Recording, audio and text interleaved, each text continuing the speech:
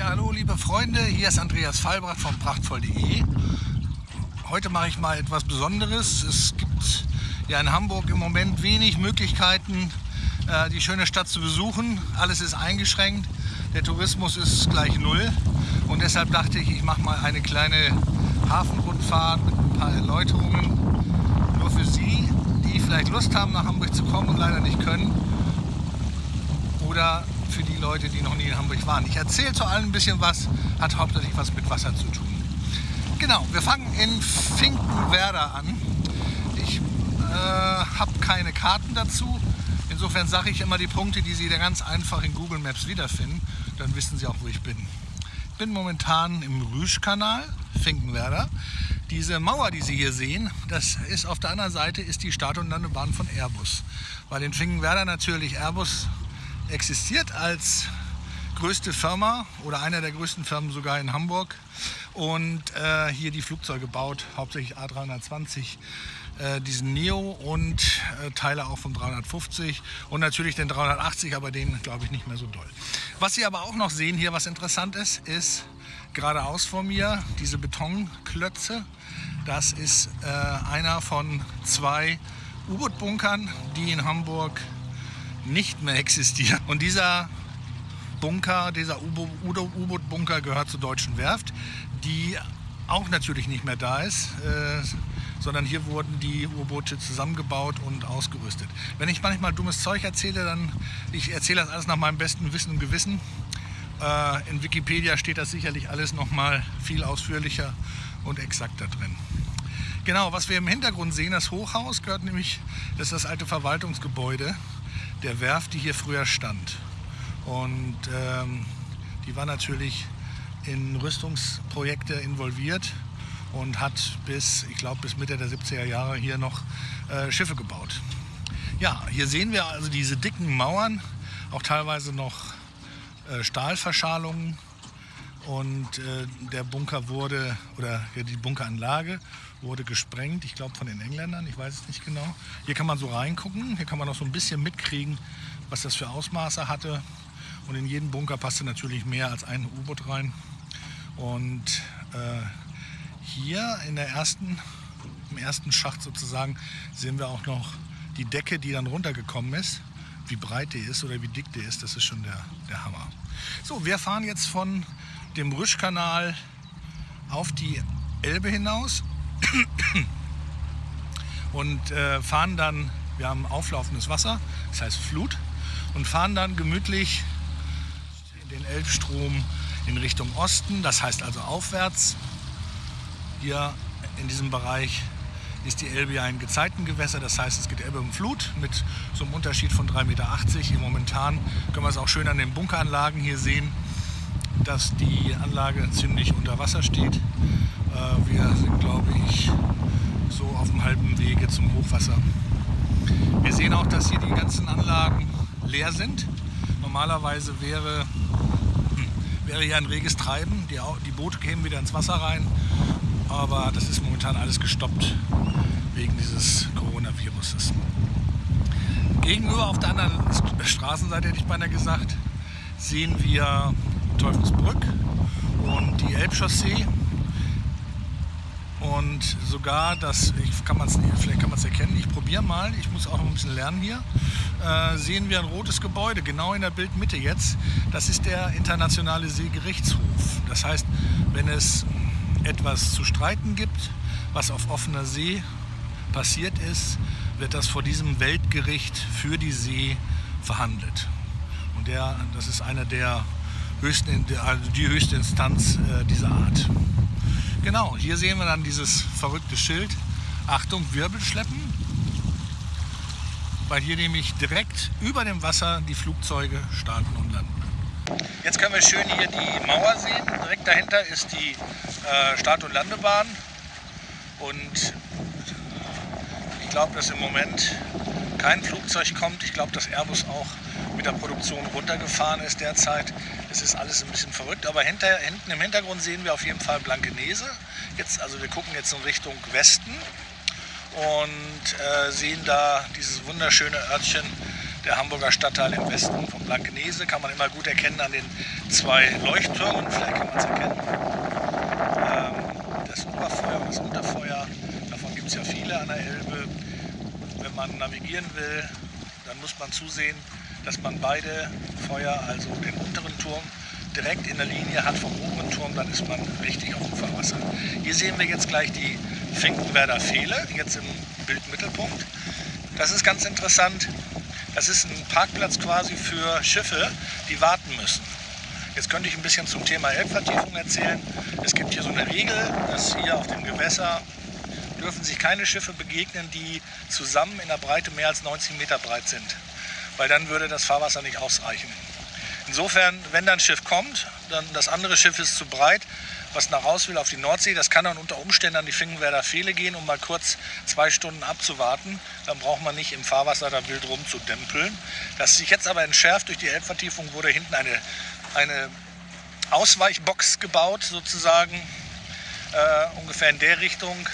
Und äh, da ist das Fahrwasser verbreitert worden, sodass sich also breite Schiffe da begegnen können. Links hier die Fabrikationshallen, die gehören alle zu, zu Airbus. Jetzt sind wir vor dem sogenannten Stehendiek-Kanal. Das ist nach dem Rüschkanal der zweite Einschnitt quasi nach Süden äh, vom Elbverlauf und das ist ein Ausrüstungskanal oder ein Ausrüstungsgewässer oder ein Ausrüstungshafen gewesen. Rechts die Mauer, die wir da sehen, die Kaimauer. Da kann man nicht mehr ran, weil die Eiler einsturzgefährdet ist. Da haben früher die Schiffe dran gelegen und wurden dann mit Maschinen und mit Ausrüstung quasi, also da wurde der schwimmende Schiffskörper hingelegt und dann mit Kranen wurde dann, mit Kränen wurde dann das Schiff weiter ausgerüstet. Heute ist der Stehendick-Kanal ein Hafen für kleinere Gewerbeschiffe, wie zum Beispiel der Bagger Acke, den wir hier gerade aussehen, links. Warte, mich noch ein bisschen hoch machen. Äh, und hinten von sind unterschiedliche Rundfahrerschiffe, die liegen da jetzt alle, weil sie in Hamburg nicht fahren dürfen. Verrückte Welt. Und rechts äh, in der Mitte sehen wir die gelb-roten Tonnen. Das sind Sperrtonnen, das heißt, ich dürfte jetzt nicht hier Steuerbord am, an die Keimmauer fahren, weil das erstmal untief ist und zweitens ist es dort auch Einsturzgefahr. Und Stehendiek, wenn man ein bisschen platt, also das habe ich auch alles gelernt, ich wohne jetzt ja in Finkenwerder seit einiger Zeit, das heißt einfach nichts anderes als Steindeich. Stehen, Stein, Diek, Deich. Ja, und geradeaus ist der Gorch-Fock-Park. Warte, ich mache mal wieder weiter hier. Zack, der Gorch-Fock-Park. Gorch-Fock ist ja der Sohn Finkenwerders, der norddeutsche Dichter und äh, der ist natürlich auch sehr bekannt. Und hier rechts ist übrigens Finkenwerders Forschungsgebiet. Das hat hier alles was mit dem Thema Luftfahrt zu tun. Ähm, hier sind viele Zulieferer, aber auch Forschungseinrichtungen, die für Airbus oder im Rahmen Luftfahrt forschen. Und da ist immer ganz schön was los. Im Moment leider nicht. Geradeaus sehen wir, ich gehe mal wieder in den Zoom-Modus. Falsch.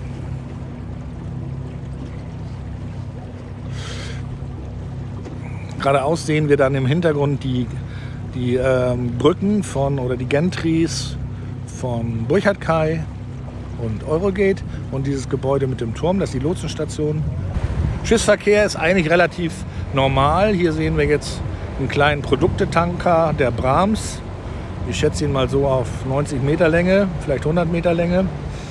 Die sind relativ klein, haben aber ganz viele Tanks und haben immer fiese Sachen an Bord. Chemikalien, viel Treibstoff, Benzin und so weiter. Das heißt, die haben kein Öl, also Rohöl an Bord, sondern ähm, die Produkte sozusagen. So, jetzt muss ich mal ein bisschen Werbung für Finkenwerder machen.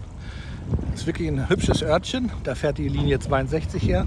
Wenn Sie schon mal in Hamburg waren und mit äh, der Fähre gefahren sind, sind Sie sicherlich auch schon mal in Finkenwerder gewesen, aber wahrscheinlich nicht ausgestiegen. Nächstes Mal steigen Sie einfach mal aus. Hier zum Beispiel der Elbblick, ein sehr nettes Ausflugslokal direkt am Wasser mit einem fantastischen Blick auf die Elbe. Und dann ein, das Hotel am Elbufer, können man auch sehr schön übernachten. Und dann hier eine interessante Sache, Sie kennen das von der Autobahn her, die Autobahnmeisterei.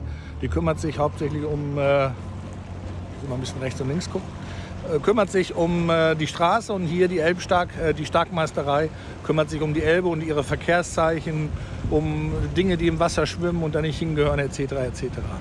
Dann zwei Schlepper, die weiß ich nicht genau, was die hier wollen. Buxier 18 ist gerade angelegt. Dahinter die Schlepperbrücke, äh, die, die Schlepperbrücke, die, ähm, die Landungsbrücke. Nicht zu verwechseln mit den Landungsbrücken in Hamburg äh, in der Stadt. Äh, das ist auch eine Landungsbrücke, weil, da, weil man da halt an Land geht oder anlandet. Deshalb heißt das Landungsbrücke. Und da äh, fährt auch die 62 ab. Ganz schick.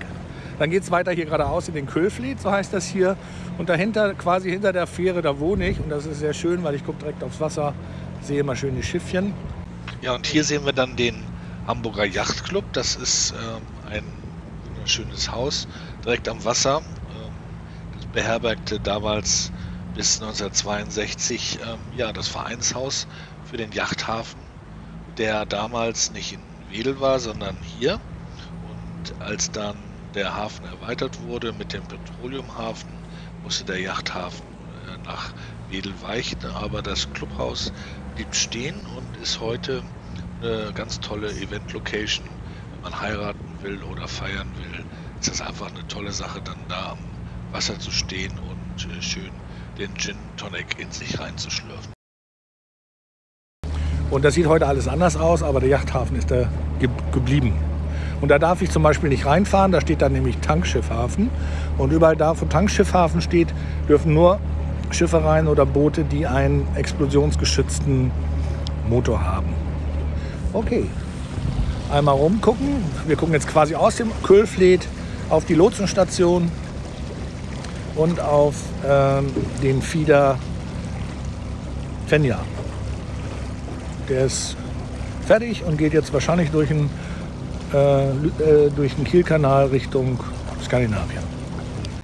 So, hier sind wir jetzt an der Lotsenstation vorbeigefahren und passieren die äh, Hadak, also die Fährstadt, äh, Fernleger Bubendei Ufer. Da kann man auch aussteigen und spazieren gehen. Ähm, und sich die Lotsenstation anschauen. Das ist eine tolle Sache. Ja, und äh, jetzt geht es weiter in, also elbaufwärts in Richtung Parkhafen. So, wir drehen jetzt mal rüber nach Osten. Das ist also, wo wir jetzt drauf gucken, ist die Nordseite des Elbufers.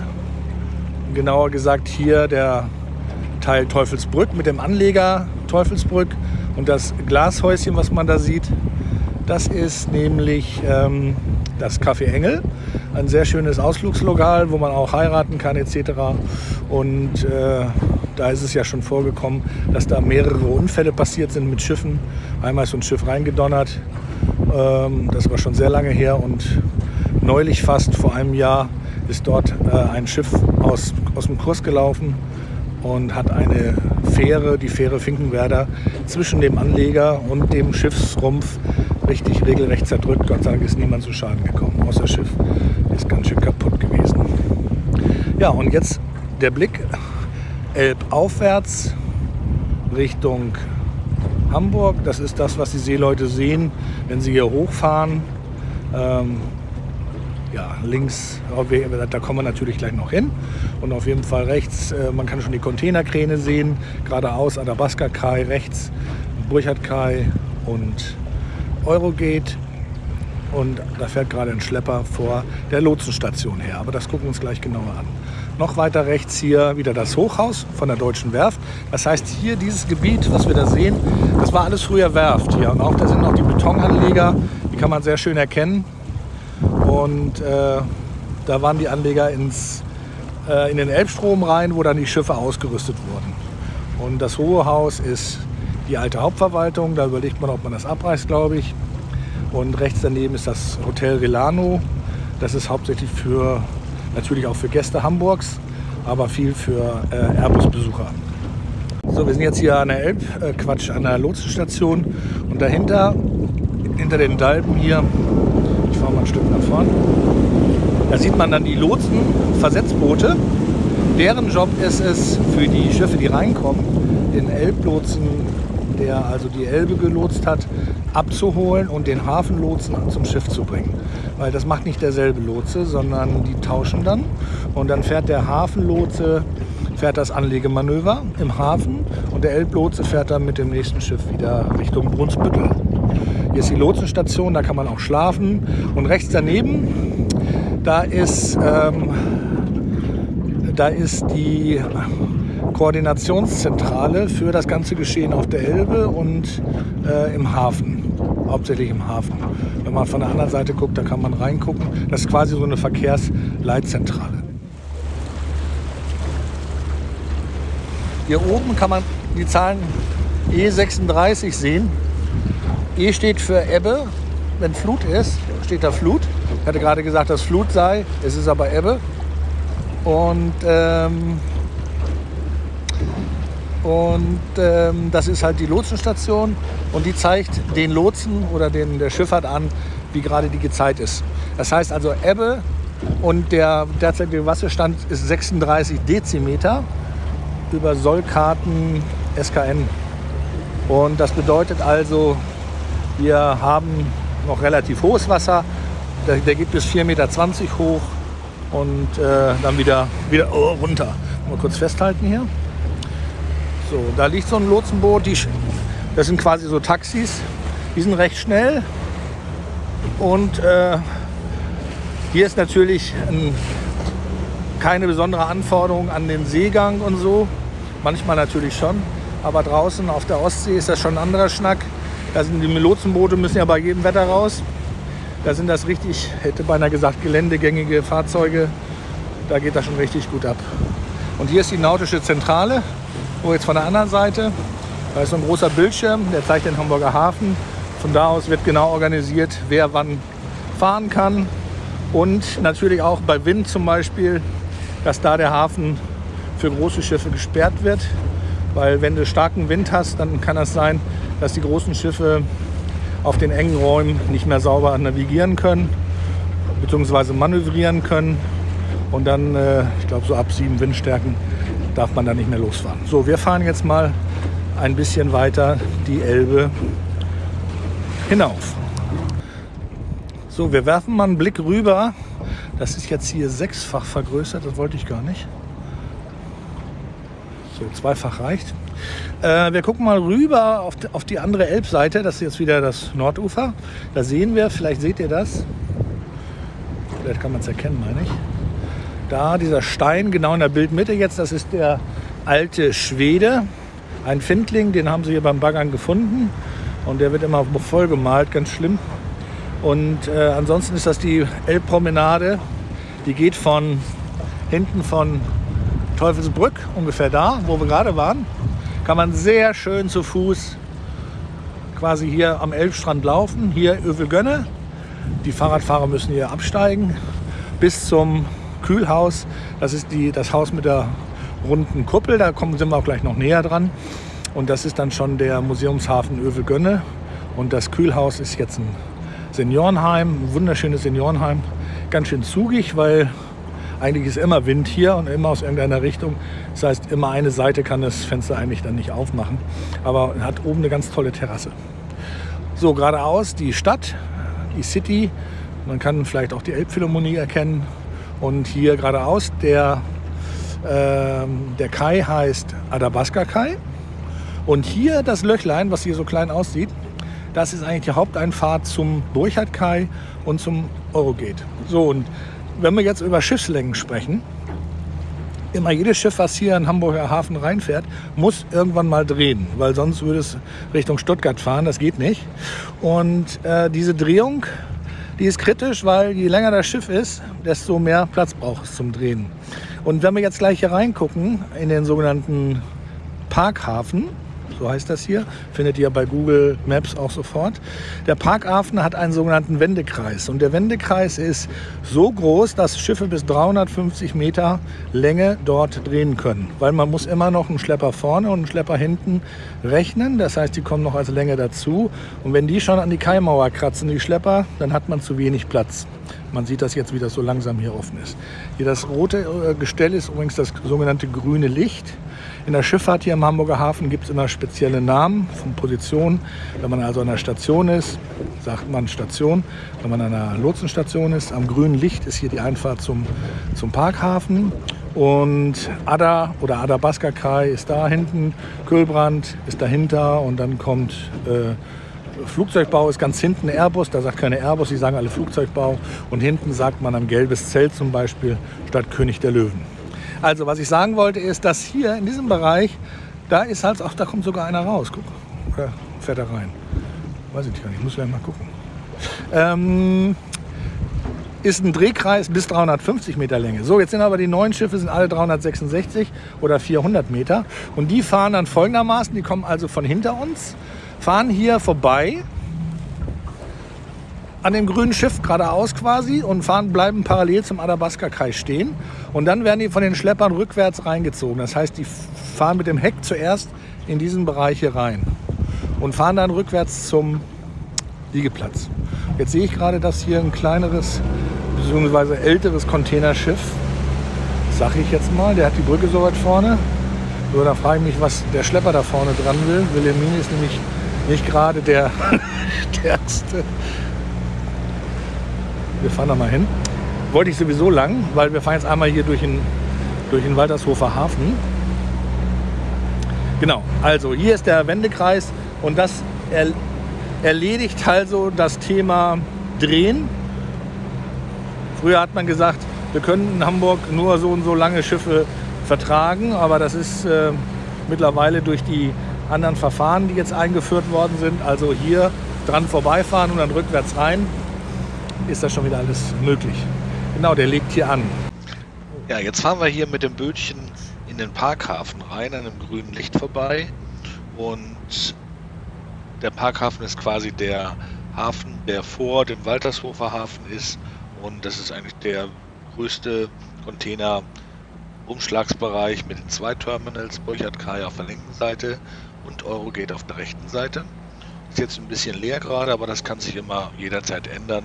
Das hängt natürlich ganz stark von den Gezeiten ab, weil die großen Schiffe einfach immer zwei Stunden vor Flut kommen und ähm, dann plötzlich der, sieht der Hafen ganz anders aus.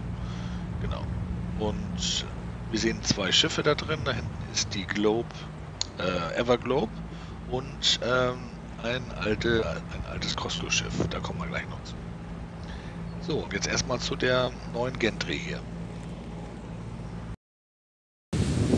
So einen großen Kran habe ich noch nicht gesehen. Ich weiß nicht, ob der genauso groß ist wie die Dinger, die am CTT stehen, also am Container Terminal toller Ort. Da gibt es nämlich fünf solche. Was hier auffällt, ist, dass der viel schlanker gebaut ist als die hier.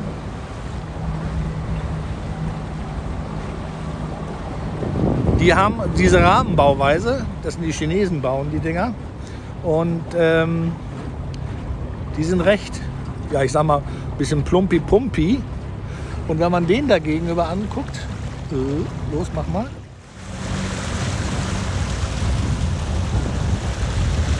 Wie, schl wie schlank hier der, der, die, der Gent, die Gentry ge gebaut ist und wie lang der Ausleger ist. Das ist schon heftig. Und ist ein Liebherr-Kran. Ach, Liebherr, guck an. Wusste ich gar nicht. Weil eigentlich ist das alles in, in Hand der Chinesen, ZPMC. Die bauen fast alle äh, Containerbrücken. So die auch hier. Die steht auch irgendwo dran. Und die kommen fertig montiert, kommen die hier an, die Gentries, auf Schiffen, auf äh, Transportschiffen. So, jetzt gucken wir uns mal den Costco an. Das ist schon seltsam, dass da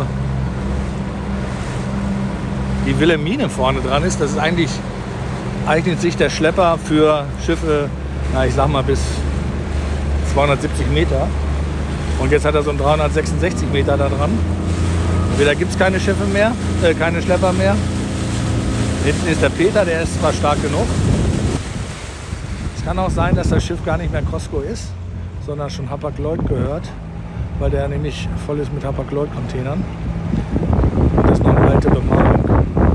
Ach hier, Wilhelmine hat ja schon die Leine gekriegt. Genau. Eigentlich müsste Wilhelmine jetzt zum Drücken kommen. Ich dann rückwärts gar nicht rein. Ja, also das ist immer das gleiche Prozedere, wenn die reinfahren. Äh, der vordere Schlepper wird dann abgemacht und der hintere Schlepper dient dazu, das Heck ranzuziehen an die Mauer. Und der vordere Schlepper, der freie Schlepper, der geht klar zum Drücken. Und ich vermute mal, dass das Schiff an den, an den Burchard-Kai geht, also links an den Kai, weil sonst würde die Wilhelmine auf die andere Seite fahren. Insofern können wir uns hier auf dieser Seite mal ein bisschen aufhalten, ein bisschen ranpirschen. Ich gehe mal ein bisschen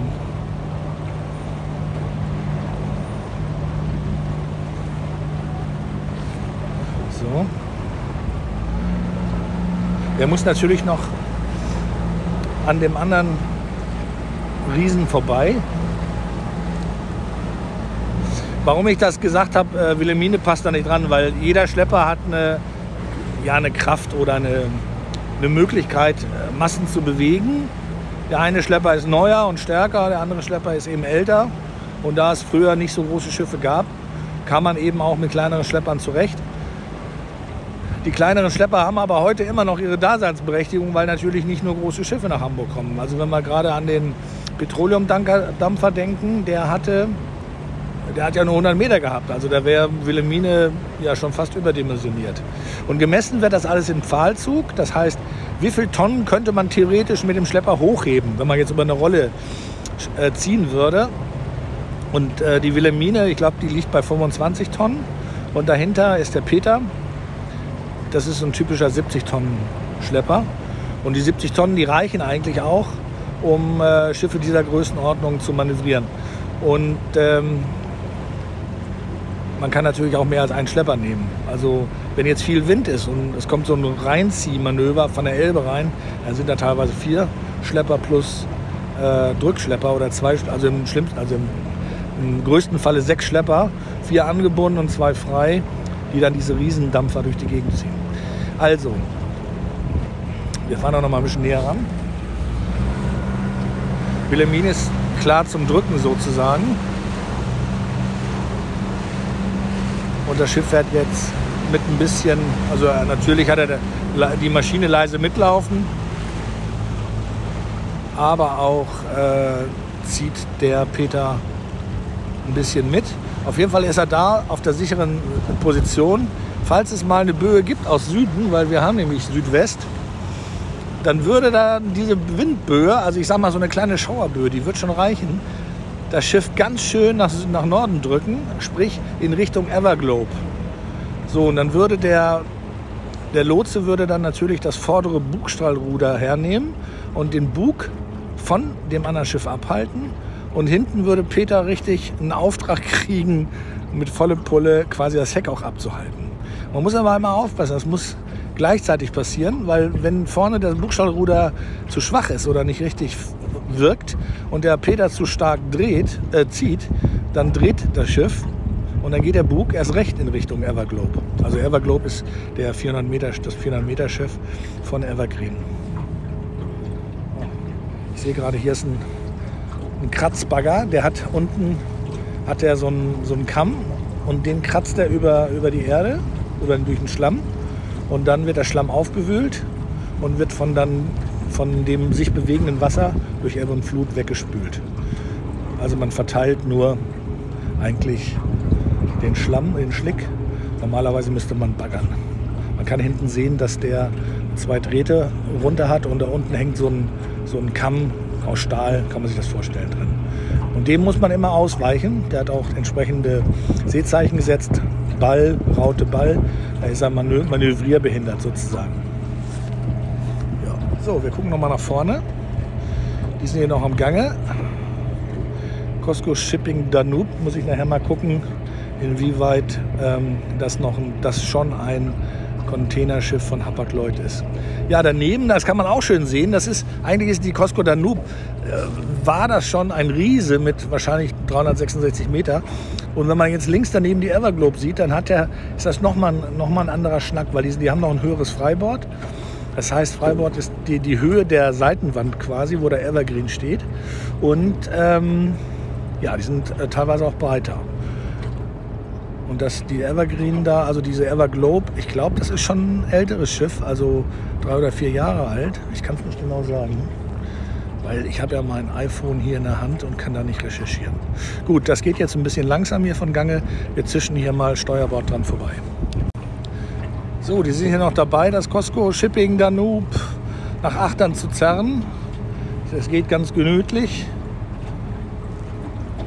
Man kann vielleicht noch kurz erklären, das Hafenbecken hört da hinten natürlich auf. Man sieht da die Kulbernbrücke. Und da fahren wir auch gleich rechts unter der kleinen Brücke durch. Die Gentries, so heißen die Containerbrücken hier, funktionieren alle nach dem gleichen Prinzip.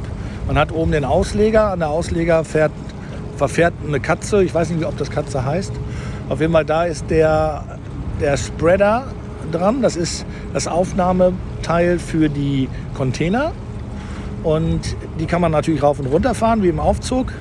Der Spreader wird auf die Containergröße eingestellt, fährt dann, wird dann runtergelassen vom Brückenführer auf den Container. Dann wird er abgelegt und dann gehen automatisch die Bolzen in die Aufnahmen des Containers rein. Dann werden die Bolzen gedreht und dann haben sie Formschluss sozusagen und dann ist der Container fest verbunden mit, äh, mit dem Container, äh, mit dem Spreader. Und dann wird er vom Schiff heruntergeladen oder eben aufs Schiff aufgeladen. Und natürlich werden, achso, und zwischen den Containern da sind so, so Verdrehnüsse drin. Das sind also, da sind Verbundstücke drin, das ist ganz wichtig. Sie sind nicht nur aufeinander gestellt, sondern das ist ein, so ein Prinzip, das kann man schwer erklären. Das sind so Drehverschlüsse. Ähm, Loks heißen die, glaube ich. Und die sorgen dafür, dass die äh, Container zusammenkleben. Äh, die muss man natürlich vorher drehen, wenn man den Container oben abheben will, weil durch das Drehen werden die Loks gelöst. Aber man sieht vielleicht auch, ich weiß nicht, wie gut die Auflösung ist. Ich mache mal auf 2. Man sieht vielleicht auch an den blauen Containern da, wo Evergreen draufsteht, dass da, da ist ja dieses graue Gerüst und dieses graue Gerüst hält die Container noch zusätzlich fest. Die werden nämlich da mit sogenannten Laschstangen, Laschen heißt Container befestigen, dran gelascht. Und die halten dann diese Containertürme davon ab, bei Seegang, besonders beim Rollen, das heißt, wenn das Schiff nach rechts und links schwenkt, das kann extrem sein, bis 40 Grad oder sogar noch mehr, je nachdem, wo die Welle herkommt, dann würden nämlich diese Türme einfach ins Wasser stürzen. Und diese Laschstangen verhindern das. Und wenn man nicht richtig lascht, dann kann es sein, dass tatsächlich bei Sturm dann Container verloren gehen und dann ist das Geschrei groß. So, wir sind wieder hier. Äh, äh, äh. Muss noch ein bisschen mit dem Zoom spielen hier. So, ich bin jetzt hier auch unter, unter den Kon äh, Brücken der, von Eurogate. Weil die, hier liegt natürlich kein Schiff, insofern sind die Brücken auch nicht in Betrieb.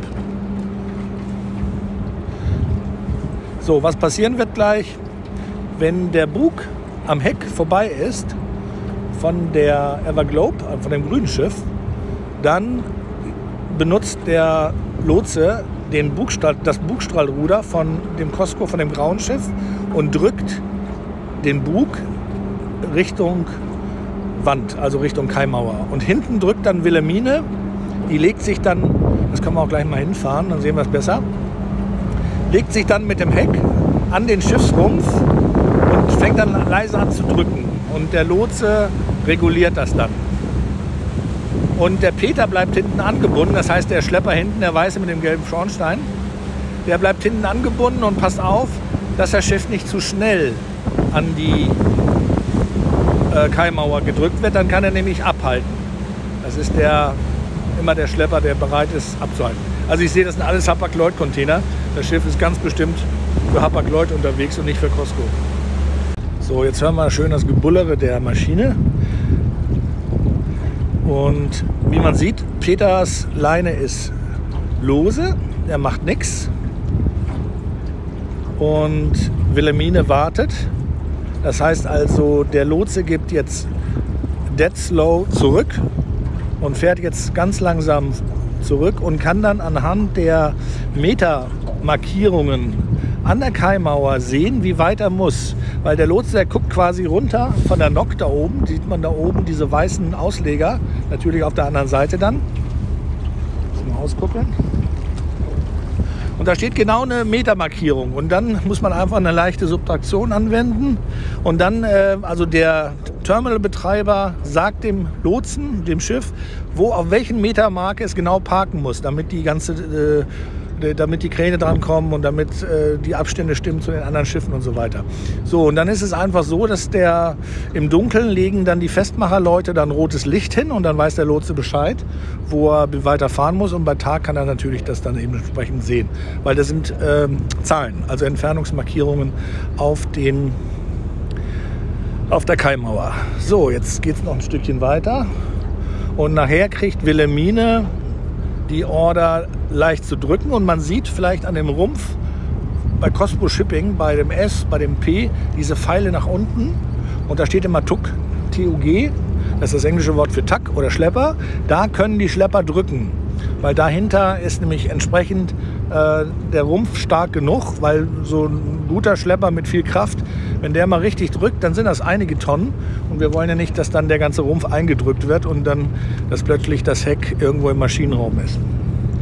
Ja, wunderbar. Das geht jetzt hier noch mal langsam vorbei.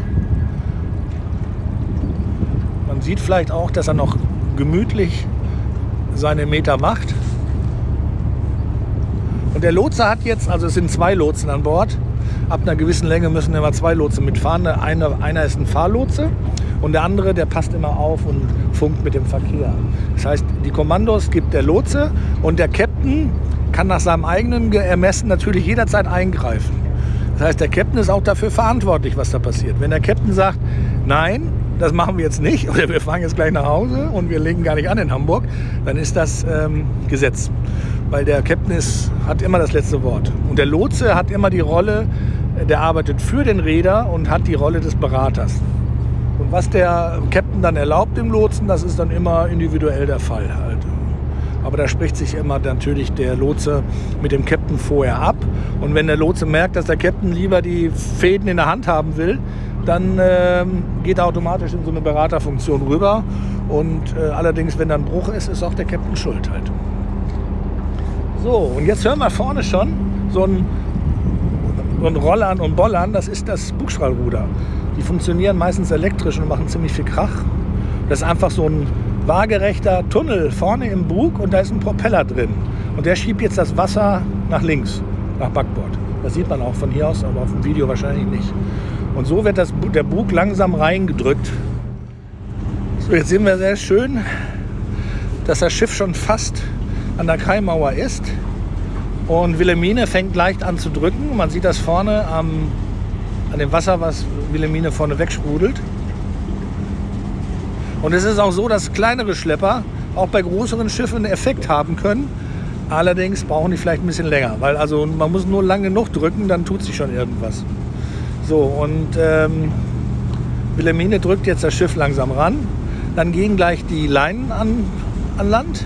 Hinten sind diese gelben, äh, orangenen Sturzellen, mit denen man da sieht. Das sind die, die von der Station achtern. Eine Station, die schmeißen gleich die erste Wurfleine rüber. Da ist dann immer so, ein, so eine Korkkugel dran. Und dann, äh, wenn man jetzt zu früh wirft, geht das Ding ins Wasser und man hat sich blamiert. wenn man zu spät wirft, dann schimpft der Lotse, warum seid ihr noch nicht fest da hinten? So, aber das geht gleich los. So, ich glaube, wir fahren mal weiter. Viel tut sich jetzt hier nicht mehr, also kann sein, dass der Peter gleich mal kurz abhält, aber momentan tut er nichts. Wilhelmine macht ganz langsam ran. Wir haben wenig Wind, also ein, eigentlich ein einfaches Manöver.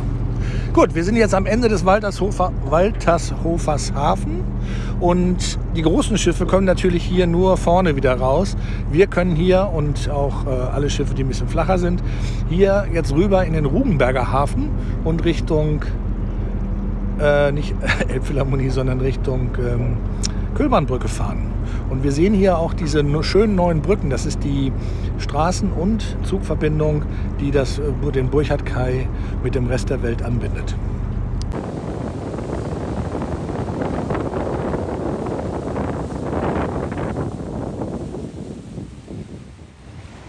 So, hier oben sind Sie vielleicht schon mal drüber gefahren, das ist die A7, kurz vom Hamburger Elbtunnel von Süden aus gesehen.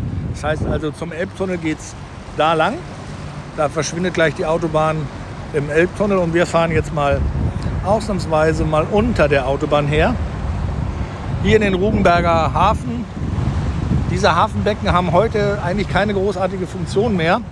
Was wir jetzt vor uns haben, ist die neue Rugenberger Schleuse. Wir sind jetzt hier Kleinverkehr, also Seeschiff kommt natürlich nicht durch. Die Schleuse ist nur dafür da, damit die Gezeiten nicht durch den ganzen Hafen marschieren.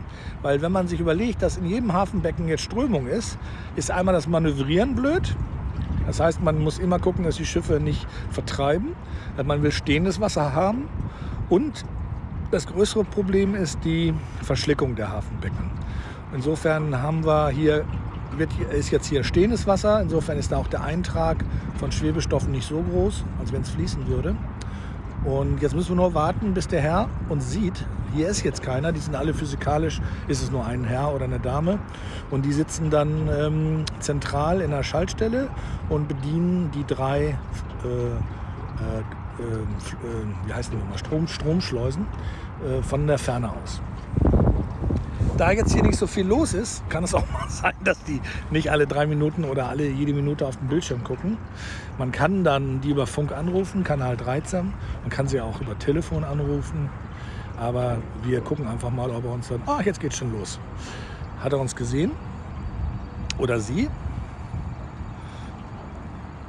Ich habe natürlich auch ein Funkgerät dabei. Ich habe auch ein Funksprechfunkzeugnis Sprechfunkzeugnis und hätte jetzt über Kanal 13 Ellerholzlok für Mutata anrufen können. So, und jetzt das Wichtige, dass man hier reinfährt, nichts kaputt macht und typischerweise auf grün wartet. Oben rechts sehen wir zwei rote Ampeln. Da kann man sich merken, wenn die nebeneinander sind, dann ist das das Bett. Da liegt, jetzt ist es grün, da liegt der Schleusenwärter drin und schläft und man muss ihn nur anrufen, dann macht er auf. Wenn die aber übereinander sind, die roten Lichter, das heißt zwei Stück, dann ist das sich vorzustellen wie so ein erhobener Zeigefinger. So, hier kommst du nicht rein. Da darfst du nicht reinkommen. So, die sieht jetzt schon ziemlich schön aus, die Schleuse, weil die nämlich ganz neu ist hier. Die ist vor zwei Jahren gebaut worden. Oder drei. So, da vorne ist jetzt das nächste Schleusentor. Und wenn wir jetzt, jetzt umdrehen, geht nachher geht das Schleusentor zu. Aber das, wer schon mal eine Hafenrundfahrt gemacht hat, der kennt das natürlich. Das geht nachher zu. Das heißt, der guckt jetzt über die Kamera. Ist der liebe Andreas reingefahren? Ist er. Und dann drückt er auf den Knopf. Jetzt geht das hinten zu, damit das Wasser nicht fließen kann. Weil vorne ist ja auch zu. Erst dann, wenn hinten zu ist, geht es vorne wieder auf. Das heißt, es geht nicht um Höhenunterschiede hier, sondern lediglich zur Verhinderung des Durchströmens. Jetzt warten wir mal kurz. Das ist spannend alles hier. So, wenn man da jetzt noch mit einem Bötchen drin ist, dann hat man schlechte Kahn. Bums zu. Und vorne fahren wir jetzt mal gemütlich hin. Das erst einen Gang rein tun.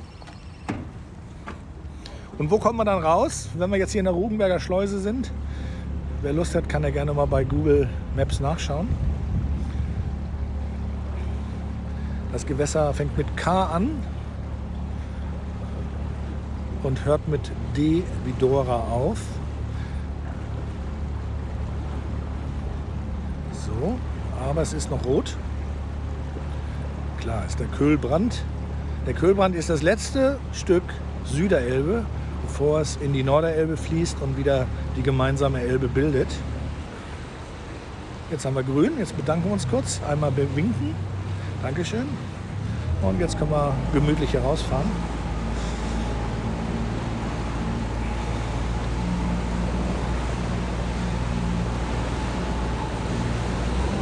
So, wenn man aus der Schleuse raus ist, kann man auch ein bisschen mehr Gas geben.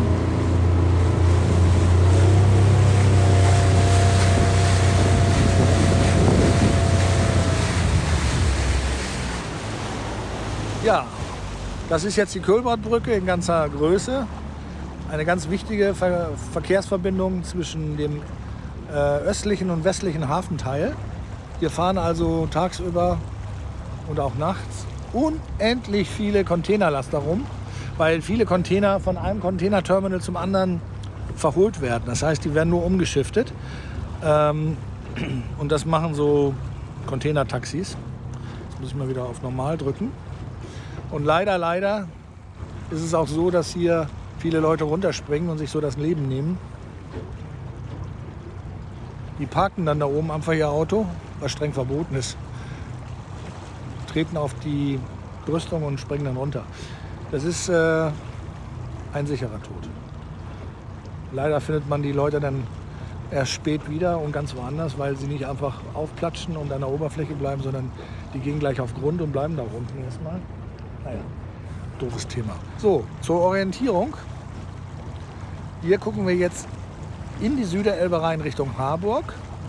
Da hinten kann man das Containerterminal Altenwerder erkennen. Mit, der, äh, mit dem Kraftwerk hinten, das Kraftwerk Moorburg. Hier die Ölmühle, ADM. Hier wird aus Korn alles Zeugs hergestellt. Auch der, das blaue Schiff, was da ist, ist ein Massengutfrachter. Der hat Korn gebracht. Das geht dann in die Speicher rein und von da aus wird dann alles Mögliche produziert. Hier weiter geht es gleich in die Stadt, da werden wir auch hinfahren. Und hier ist der Blick in Kölbrand runter. Wenn man jetzt hier lang fahren würde, würde man zu diesem ähm, Rautenhaus kommen, was Sie vielleicht kennen. Und natürlich die Kläranlage. Ich gehe noch mal in ein Zoomchen rein. Die Kläranlage. Das Rautenhaus. Und äh, ja. Und hier ist das Containerterminal, toller Ort von hinten. Und das ist die Moschee, so nennen wir das immer. Das ist der, die Festmacher, die haben sich dann oben so eine Kuppel drauf gebaut. Ja, am oder im Köhlbrand findet man dann den Hansaport. Der Hansaport ist der Schüttguthafen von Hamburg. Hier werden Großmassengutfrachter entladen, die bringen, also wir importieren hier Kohle hauptsächlich und Eisenerz.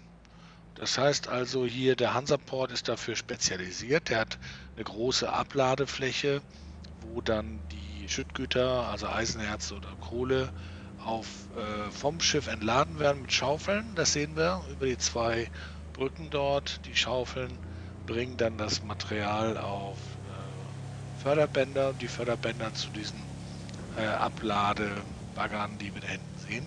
Wir sehen hier rote Hügel und schwarze Hügel. Die schwarzen ist Kohle, die roten sind eben Eisenerz. Genau, so ein typischer Massengutfrachter ist im Moment so um die äh, 220, 230 Meter lang. Es gibt auch große, sehr große Massengutfrachter um die 300 Meter, 330 Meter. Das ist aber schon die Ausnahme. Und dieser AM Quebec, der wir da sehen, bringt Kohle. Und zwar hat der 230 Meter und ist 32 Meter breit.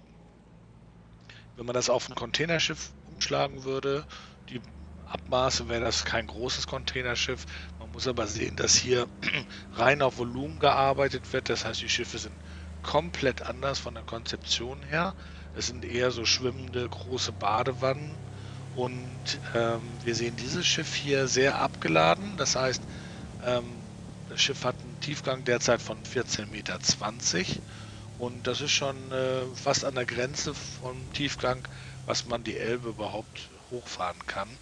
Äh, der liegt so bei 15,70 Meter, glaube ich.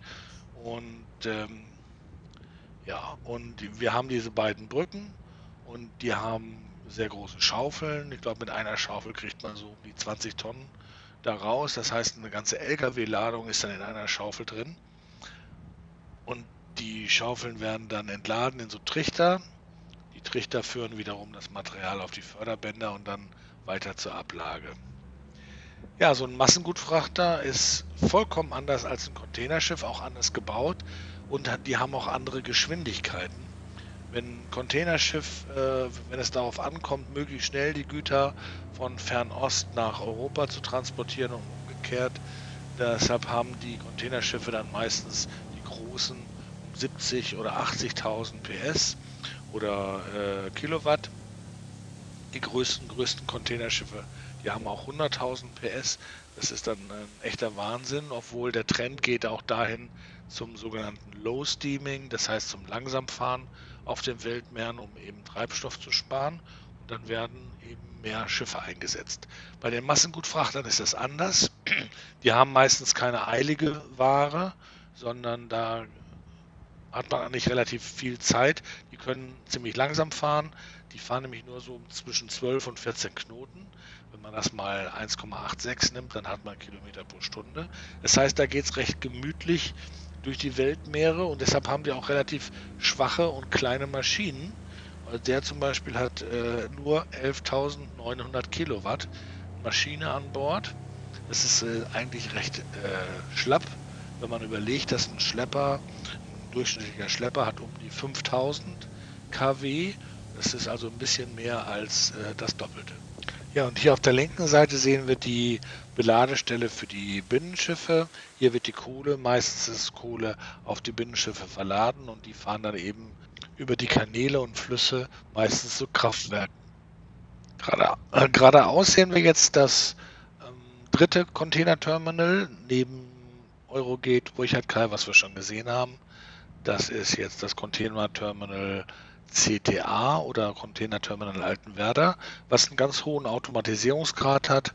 Das heißt, die Container werden auf das Schiff bzw. vom Schiff von Menschen noch gehoben. Das sind Leute, die oben äh, auf der Grind äh, im Kran sitzen und äh, den Spreader bewegen. Aber dann, wenn sie dann die Container abgesetzt haben, dann funktioniert alles automatisch. Das heißt also, die Container werden dann zum Ablageort gebracht, hinterher auch dann abgeholt, um dann im, äh, vom, auf den LKW gesetzt werden oder auf, ähm, auf die Bahn. Das ist also äh, ja, ein recht modernes Terminal. Aber es liegt eben äh, zwischen dem Terminal und der Elbe ist halt die Kühlbahnbrücke. Die ist ja in Diskussion wegen Abriss oder Ersatz mit neuer Brücke oder Tunnel. Wir werden sehen, was da dann passieren wird in Zukunft.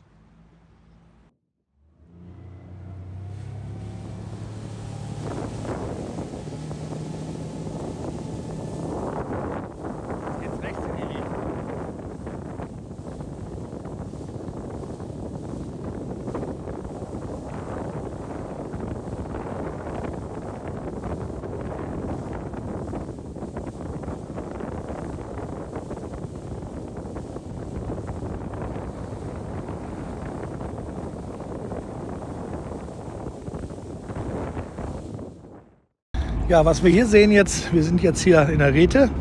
Das ist ein Bagger. Nicht so ein Kratzbagger wie vorhin, sondern ein richtiger Saugbagger.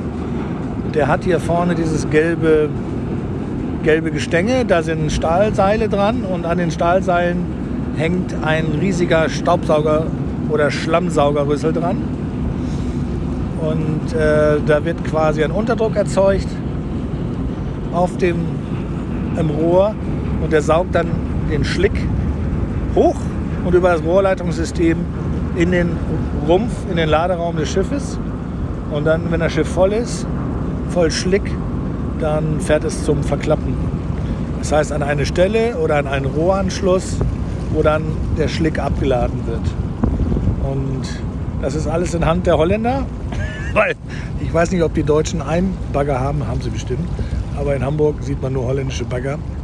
Und die verdienen sich eine rosane Nase, die gönnen wir denen auch. Aber es ist, was also der Hafen für das Baggern ausgibt, hier ist die, habe ich zumindest gehört. Ich will ja keine Fake News verbreiten. Es ist nicht unerheblich, sagen wir es mal so. Genau, Drähte ist schön. Mir gefallen die Tanks da auch, so schön weiß und grün. Das war früher Fopak, jetzt heißt es Evos. Und dann hinten das GTH, die Silos. Ich gehe nochmal auf 2. So. Die Silos und links daneben interessant. Da stand mal eine wunderschöne Hubbrücke, äh, die alte Räte Hubbrücke. Die gibt es da heute nicht mehr. Die ist nämlich ersetzt worden durch eine Klappbrücke. Die gucken wir uns gleich noch ein bisschen genauer an. Rechts daneben ist ein Getreideterminal und dann, wo die gelben Ausleger sind, das ist mal was, was wir exportieren. Sollte man kaum glauben. Ähm, da wird Salz exportiert. Das heißt also in Deutschland oder weiß nicht, wo das herkommt, ich vermute mal, ähm, aus den Salzbergwerken ähm, haben wir so viel, dass das tatsächlich in Schiffe verladen wird. Und das geht mal außer Haus, aus dem Hafen raus. So, und dann weiter. Das ist der Bereich Katwig, Katwig Shell. Und das ist eigentlich ein recht großes Ölterminal. Ähm, die Anschlüsse, die da, die Rohre, die da weggehen, die gehen auch kilometerweit weiterhin nach hinten. da in diesen Bereich rein, wo dann auch eine große Raffinerie existiert. Und hier, da wo diese Brücke in der Luft schwebt, dieses schräge Ding, das ist die neue Hubbrücke, Katwig-Hubbrücke, die über die Süderelbe geht. Da fährt dann der Schienenverkehr her und der braucht dann nicht mehr über die Straße zu fahren. Das entlastet enorm ähm, den Straßenverkehr, weil nämlich dann ähm, die Eisenbahn ihren eigenen Weg hat und da muss nicht immer der Verkehr gesperrt werden. Weil im Moment teilten, teilen sich Eisenbahn und Straßenverkehr noch die blaue Brücke und das ist natürlich, gibt immer Engpässe. Jo, jetzt gucken wir mal hier in die Richtung und fahren mal zu unserer neuen Europas größten Klappbrücke und schauen uns die mal genauer an. Ja, wir sind jetzt hier bei der Alana Evita, ein Küstenmotorschiff. Und wie ich schon gerade gesagt habe, sieht man hier, dass hier das Salz verladen wird. Das heißt, das kommt über, äh, über Förderbänder, die hier oben in diesem hinteren Gebäude laufen und äh, laufen dann hier und fallen quasi in den Laderaum rein. Hier wird also nicht gesaugt, sondern abgeladen, was ja auch mal ganz schön ist. Und dieses Terminal, das gefällt mir eigentlich sehr gut, weil das ist schön, das sieht so schön alt aus, so schön industriemäßig und so schön symmetrisch. So, was man hier noch ganz schön sehen kann, ist, dass hier unten an, der, an den Kaimauern haben die Seeleute, wenn die dann gelegen haben, haben dann ihren Schiffsnamen oder irgendwas anderes dran gemalt. Das geht heute nicht mehr mit den Containerschiffen, weil die, die Freiborde natürlich so hoch sind, da kommt keiner mehr an die Mauern. Ähm, aber ansonsten sieht man hier noch teilweise auch das Datum, Schiffsname, da ist noch ein bisschen mehr.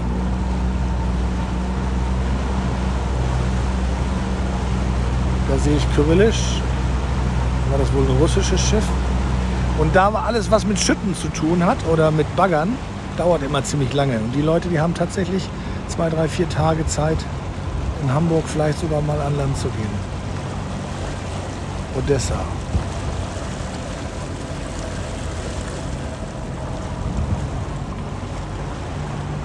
Ja. Ansonsten, das ist halt der Kalikai. Die Polizei bleibt auf ihrer Seite.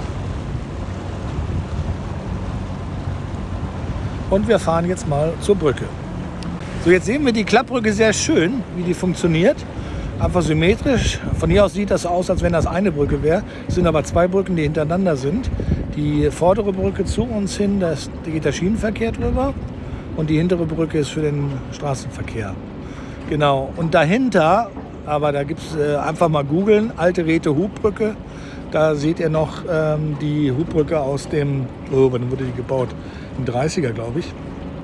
Nur die ist einfach nicht, äh, nicht mehr breit genug gewesen. Und wenn man jetzt mal unter die Brücke guckt, sieht man, dass die freie Durchfahrtsfläche viel schmaler ist, als die graue Brücke es einfach erlaubt. Das liegt daran, dass die Fundamente von der alten Brücke einfach noch nicht abgerissen worden sind. Das heißt, eigentlich fängt, fängt die freie Durchfahrtsbreite da an später und hört da auf. Und im Moment ist, hört sie hier schon auf. Das heißt, das muss noch abgerissen werden. Dann geht es in die volle Breite rein. So, und jetzt sieht man auch wieder unsere Ampeln oben rechts am Häuschen. Ich sag's mal da. Da sehen wir ähm, zwei, rote, zwei rote Ampeln nebeneinander. Und was haben wir gelernt? Nebeneinander bedeutet, du kannst, äh, ich mache dir auf, ich schlafe nur, das ist mein Bettchen, die beiden nebeneinander, ruft mich an und ich mache dir auf. Und würden sie übereinander stehen, dann könnten wir umdrehen, dann dürften wir nicht durchfahren. Jetzt steht aber noch ein weißes Licht oben, links oben. Und dieses weiße Licht heißt, dass Schiffe, die von der Höhe her durchpassen, können durchfahren. Nämlich wenn die Brücke in Aktion geht, das heißt, wenn die auf oder zu geht, dann geht das weiße Licht aus dann dürfen wir nämlich, also auch wenn wir drunter herpassen würden, nicht durchfahren, weil nämlich dann die Brücke in Bewegung ist. Eigentlich ganz logisch. So, jetzt fahren wir mal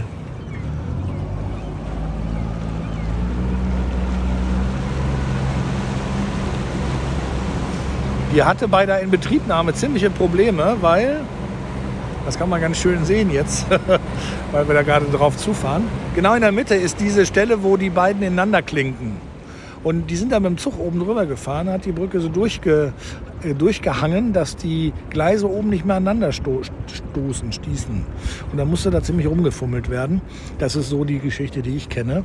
Aber jetzt hat man äh, das alles so hingekriegt, dass auch die Züge jetzt hier oben rüberfahren dürfen. Aber was ziemlich nervig ist für alle, auch für den Verkehr, die Brücke ist saumäßig lahm. Sprich, bis die aufgeklappt ist, vergehen so ich meine, ich hätte es mal gestoppt, vier Minuten oder so. Hier sehen wir jetzt die Klappis von unten. Und dieser ganze Kram hier, da, das muss noch alles weg. Da, das muss noch alles weg. Kommt noch alles weg.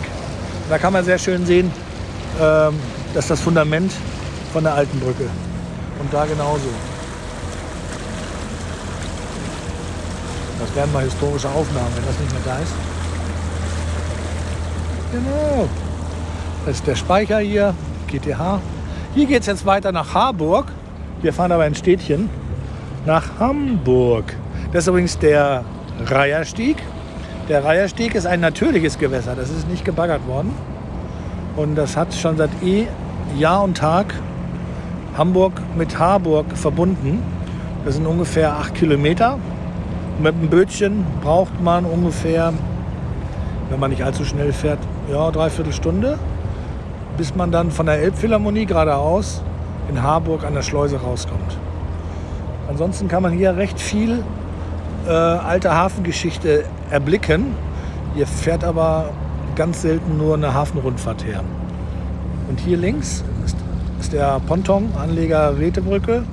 Ich glaube aber nicht, dass der irgendwie regelmäßig angefahren wird. Auf jeden Fall dahinter ist der Bunker. Äh, der ja, ist ein alter Bunker. Da hat sich Greenpeace eingenistet und eingenistet ist gut. Das ist das Greenpeace Technische Zentrum. Ich war da mal drin beim Tag der offenen Tür und ihr seht die Gerüste da alle. Da sind die Kollegen immer heftig am Üben, sich abzuseilen für alle möglichen Aktionen. Ja, weiter geht's jetzt auf dem Reiherstieg in Richtung Norden. Das heißt, wir fahren den Reiherstieg Richtung Innenstadt. Hier ist jetzt äh, eigentlich kein großartiger Schiffsverkehr mehr. Äh, wir haben hier noch gleich eine Hubbrücke, die über so eine Hebelvorrichtung, wie man es vielleicht aus Holland auch viel kennt, geöffnet wird. Aber das ist ganz, ganz, ich habe es noch nie gesehen, dass die Brücke geöffnet war, weil hier ist es auch nicht tief und ähm, ja, ansonsten ist es ein natürliches Gewässer, was die Innenstadt mit Hamburg-Harburg äh, verbindet.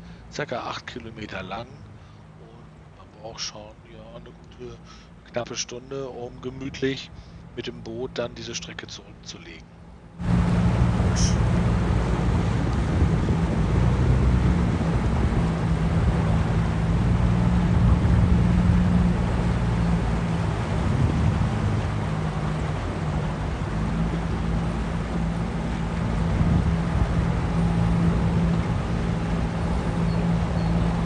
So, das sieht man eigentlich auch nicht, wenn man äh, normal mit der Hafenrundfahrt hier rumfährt. Das ist eine wunderschöne Werft, eine alte Werft.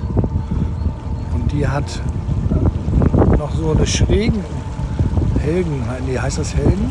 Ähm, ich meine, es heißt so. Das sind einfach Schienen, die schräg sind. Auf den Schienen fahren kleine Plattformen mit Rädern unten dran. Die werden so lange, so weit ins Wasser gelassen, bis sie ganz unter Wasser sind. Da kann man sehen, da oben. Und dann wird das Schiff, wenn sie dann im Wasser sind, wird das Schiff über, die, über den Aufzug quasi rübergezogen und dann mit dem Aufzug die Schräge hochgezogen. Und so kann man dann am Rumpf arbeiten. Da kann man das sehr schön sehen. Das ist die Werft Theodor Buschmann. Und man sollte kaum glauben, es gibt ganz viel zu tun für die. Es gibt ganz viele Pontons, Schuten. Da kann man so eine Schute sehen, die äh, vollgeladen wird und die dann aufgeklappt wird, um ihr, ihr Gut loszuwerden. Das sieht man, die ist so halb aufgeklappt, hat so einen Klappmechanismus. Da der Schlepper Typhoon. Das sind alles Schiffe in der Größe, die hier fertig gemacht werden. Und hier sind ganz viele Herrschaften, die noch richtig Werft können. Kann natürlich auf anderen Werften auch, aber ähm, hier ist viel Know-how noch vorhanden. Und dann gibt es auch so pittoreske Eindrücke, zum Beispiel hier vorne, wo das alles schon so ein bisschen verfallen ist. Oder der, der blaue Kran ist mein Liebling. Der erinnert mich immer früher an den 60er Jahren, als sie da gebaut haben, äh, Häuser gebaut wurden. Da sahen die Krane alle so aus. Da gab es noch keinen waagerechten Ausleger, sondern die hatten immer, ich weiß nicht, wie das heißt. Und daneben der Ofen, die Halle, das ist echt toll. Das ist echt super. Ja, die Buschmann werft. Genau, es geht weiter, geradeaus nach in die Stadt rein. So, jetzt sind wir immer noch hier im Reiherstieg. Hier liegt ein altes Bäderschiff, Hiddensee. Früher mal Insel Hiddensee. Oftmals kaufen sich Leute solche Schiffe und machen die dann wieder fertig oder lassen sich mehr oder weniger viel Zeit damit. Jetzt sind wir an einem ganz interessanten Kreuzungspunkt hier. Links geht es gleich in die Ellerholzschleuse. Auch wieder eine Schleuse, die nur den Strom stoppen soll, also eine Stromschleuse. Und rechts geht es Richtung, ja, Richtung Peute, wer das kennt, Richtung Autobahn. Und geradeaus geht es wieder in den Schiffbahnteil des Reiherstiegs. Der ist jetzt wieder gebaggert und tief. Das merkt man häufig bei den Wellen. Hier gibt es immer kleine Wellen und wenn dann, der, wenn dann die, die ausgebaggerte Tiefe zunimmt, dann werden die Wellen höher. Man muss immer sehr aufpassen, wo man hier lang fährt. Das heißt, hier ist ja Ebbe und Flut, hier geht es vier Meter rauf und runter. Und wenn man mal bei starker Ebbe hier lang fährt, dann sieht man immer genau, wo es flach ist.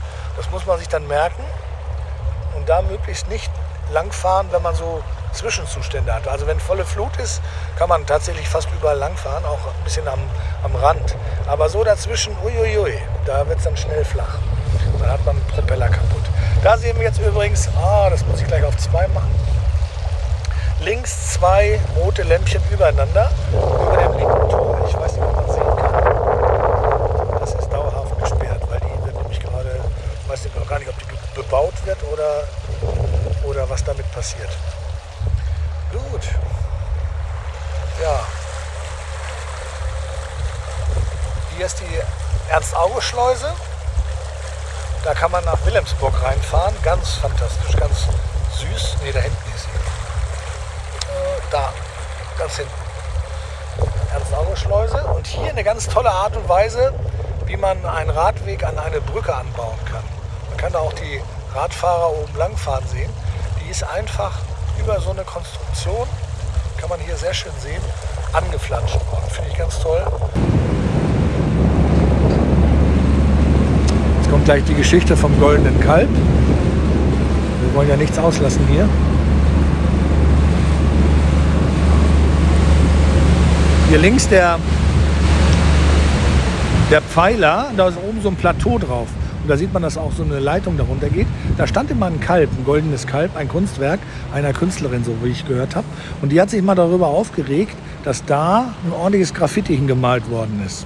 Weil das waren immer so Schmierereien und die Stadt sagt dann, komm, dann bezahlen wir mal ein bisschen Geld und ähm, dann wird wenigstens da was ordentliches hingemalt.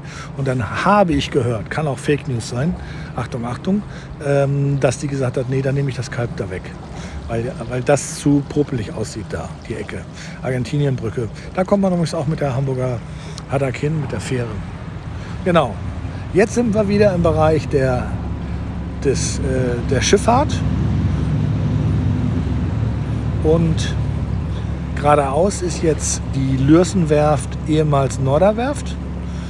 Und die Norderwerft ist mit Blom und Voss in Hamburg ja, eine, äh, die wichtigsten Werften eigentlich, kann man sagen. Es gibt noch mehrere Werften, aber die anderen sind dann erheblich kleiner. Und die Norderwerft, ich glaube, der ist es noch nie schlecht gegangen. Ich habe noch nie gesehen, dass sie nichts zu tun haben hier. Da ist immer was, äh, was los. Und die machen auch viel für die Bundeswehr. Hier so ein Versorger ist da gerade drin. Mit die größten Schiffe der deutschen Marine. Und äh, die versorgen halt andere Schiffe mit Treibstoff, Essen und so weiter. Die haben so richtige Kranvorrichtungen, um den Treibstoff äh, Schnödel darüber zum anderen Schiff zu kriegen. Genau, also äh, die heißt, äh, die wurde von Lürsten gekauft, genau wie auch Blom und Voss von Lürsten gekauft worden ist. Und ja, da fahren wir jetzt mal hin. Und das wird ja immer pittoresker hier. Genau, und jetzt haben wir hier auch wieder eine Kreuzung. Äh, geht gar nicht. Mal, geht das so? Nee. Ich, ich komme mit dem Gimbal nicht so richtig zurecht. Ist auch egal. Also geradeaus unser, unsere Docks mit den Marineschiffen. Und wir biegen jetzt mal links ab. Und das Verrückte ist hier, kein einziger Rundfahrer. Also Rundfahrer sind Hafenrundfahrten. Jetzt fahren wir hier, ich weiß gar nicht, wie das hier heißt, in so eine kleine, kleine unbekannte Ecke rein. Ähm, hier ist es nämlich ganz, ganz nett. Das ist hier auch eine Werft, die Flint-Werft. Die hat auch so ein Schräg, Schrägding. Da ist ein alter D-Mark, ein alter D-Mark Mobilkran. Ich habe nämlich die Lehre bei der D-Mark gemacht. Und hier finden sich immer ganz interessante Schiffchen. Und wenn man mal ein Boot kaufen will, dann macht das auch immer Sinn, ein bisschen im Hafen rumzufahren und so gucken, was da rumliegt. Wenn man mal Schönes gefunden hat, dann einfach mal fahren und die das verkaufen halt. So, wir fahren jetzt mal hier geradeaus und das kennt eigentlich, fährt eigentlich nie einer her. Da ist erstmal wenig Wasser, wenn Ebbe ist. Wo wir gleich rauskommen, das sehen wir gleich. Das kennt ihr alle. Oder kennen Sie alle. Jetzt erstmal ein bisschen Gas geben.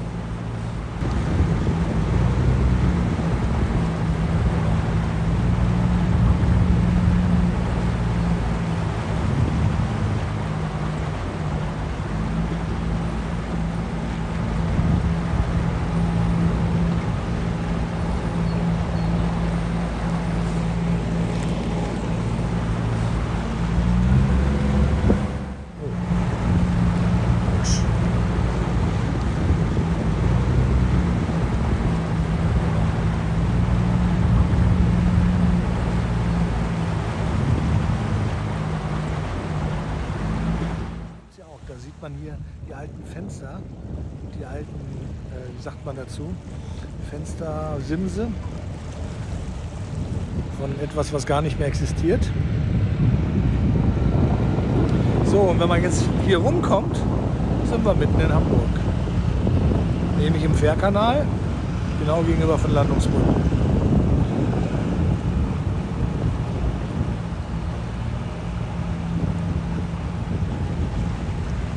Da, da, da, da.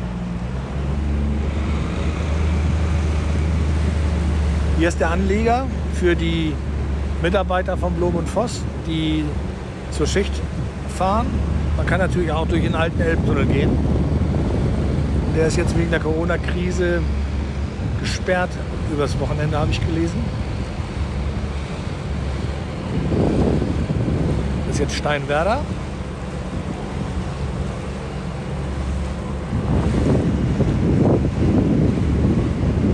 Hier rechts ist auch ein Punkt, da kann man auch mit dem Auto hinfahren und hat einen herrlichen Blick auf Hamburg. So, wir fahren noch mal ein bisschen schneller.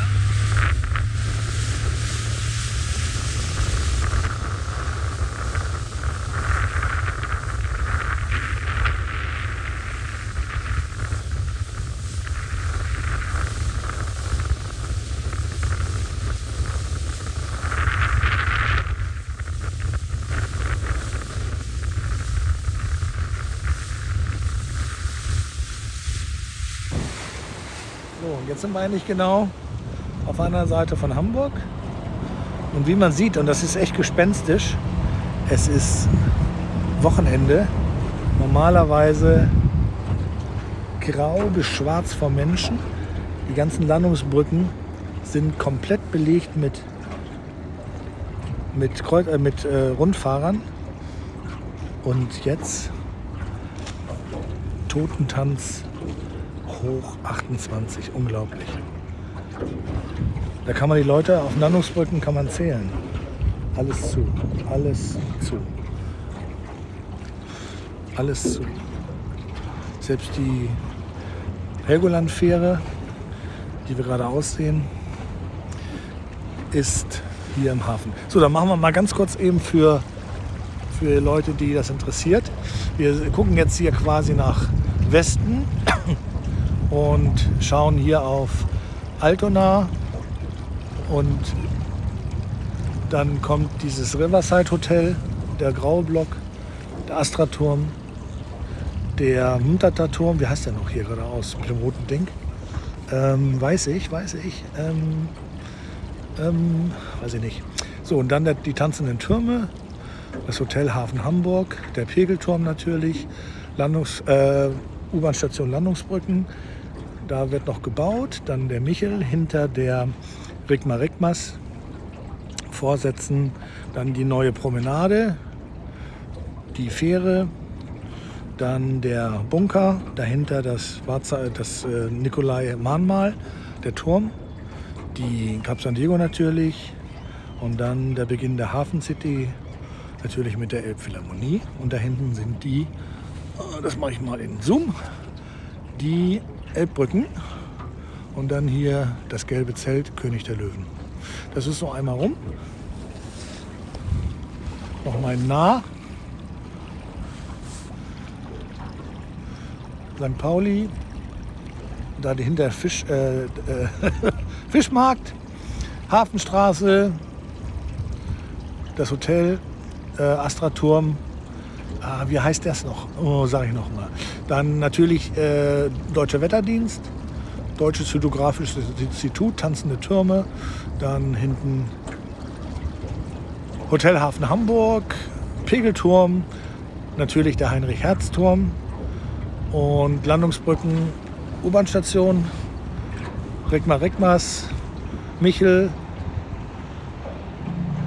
Vorsätzen mit neuer, Passa äh, neuer, Hochwasserschutzanlage, äh, neuer Hochwasserschutzanlage dann äh, Cap San Diego, World, nee, Ham, äh, nicht World Trade Center, Hamburg Trade Center und natürlich die Elbphilharmonie und dahinter die Hafen City.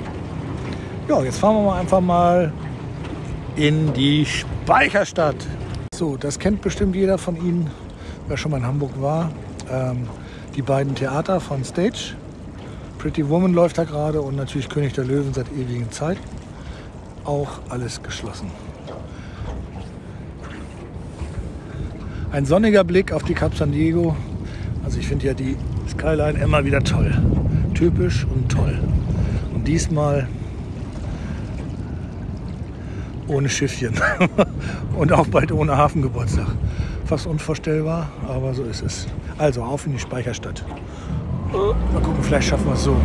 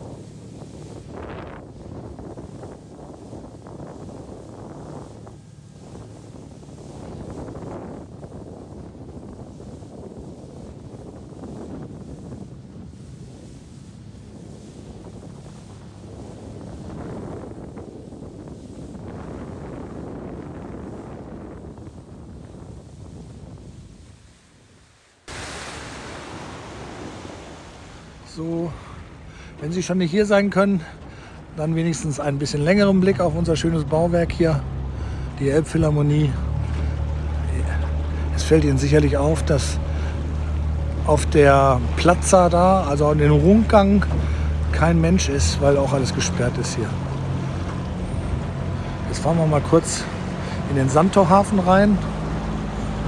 Auch hier wieder zwei rote Lämplein nebeneinander. Aber weißes Lämplein sagt, Andreas darf da rein.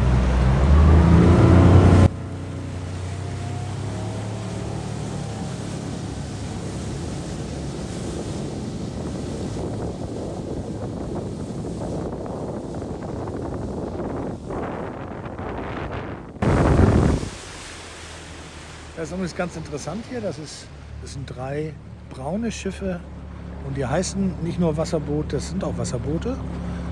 Die äh, bringen Trinkwasser zu den Seeschiffen. Ja, Trinkwasser. Genau, jetzt fahren wir mal hier unter der neuen Brücke drunter her in den Sandtorhafen.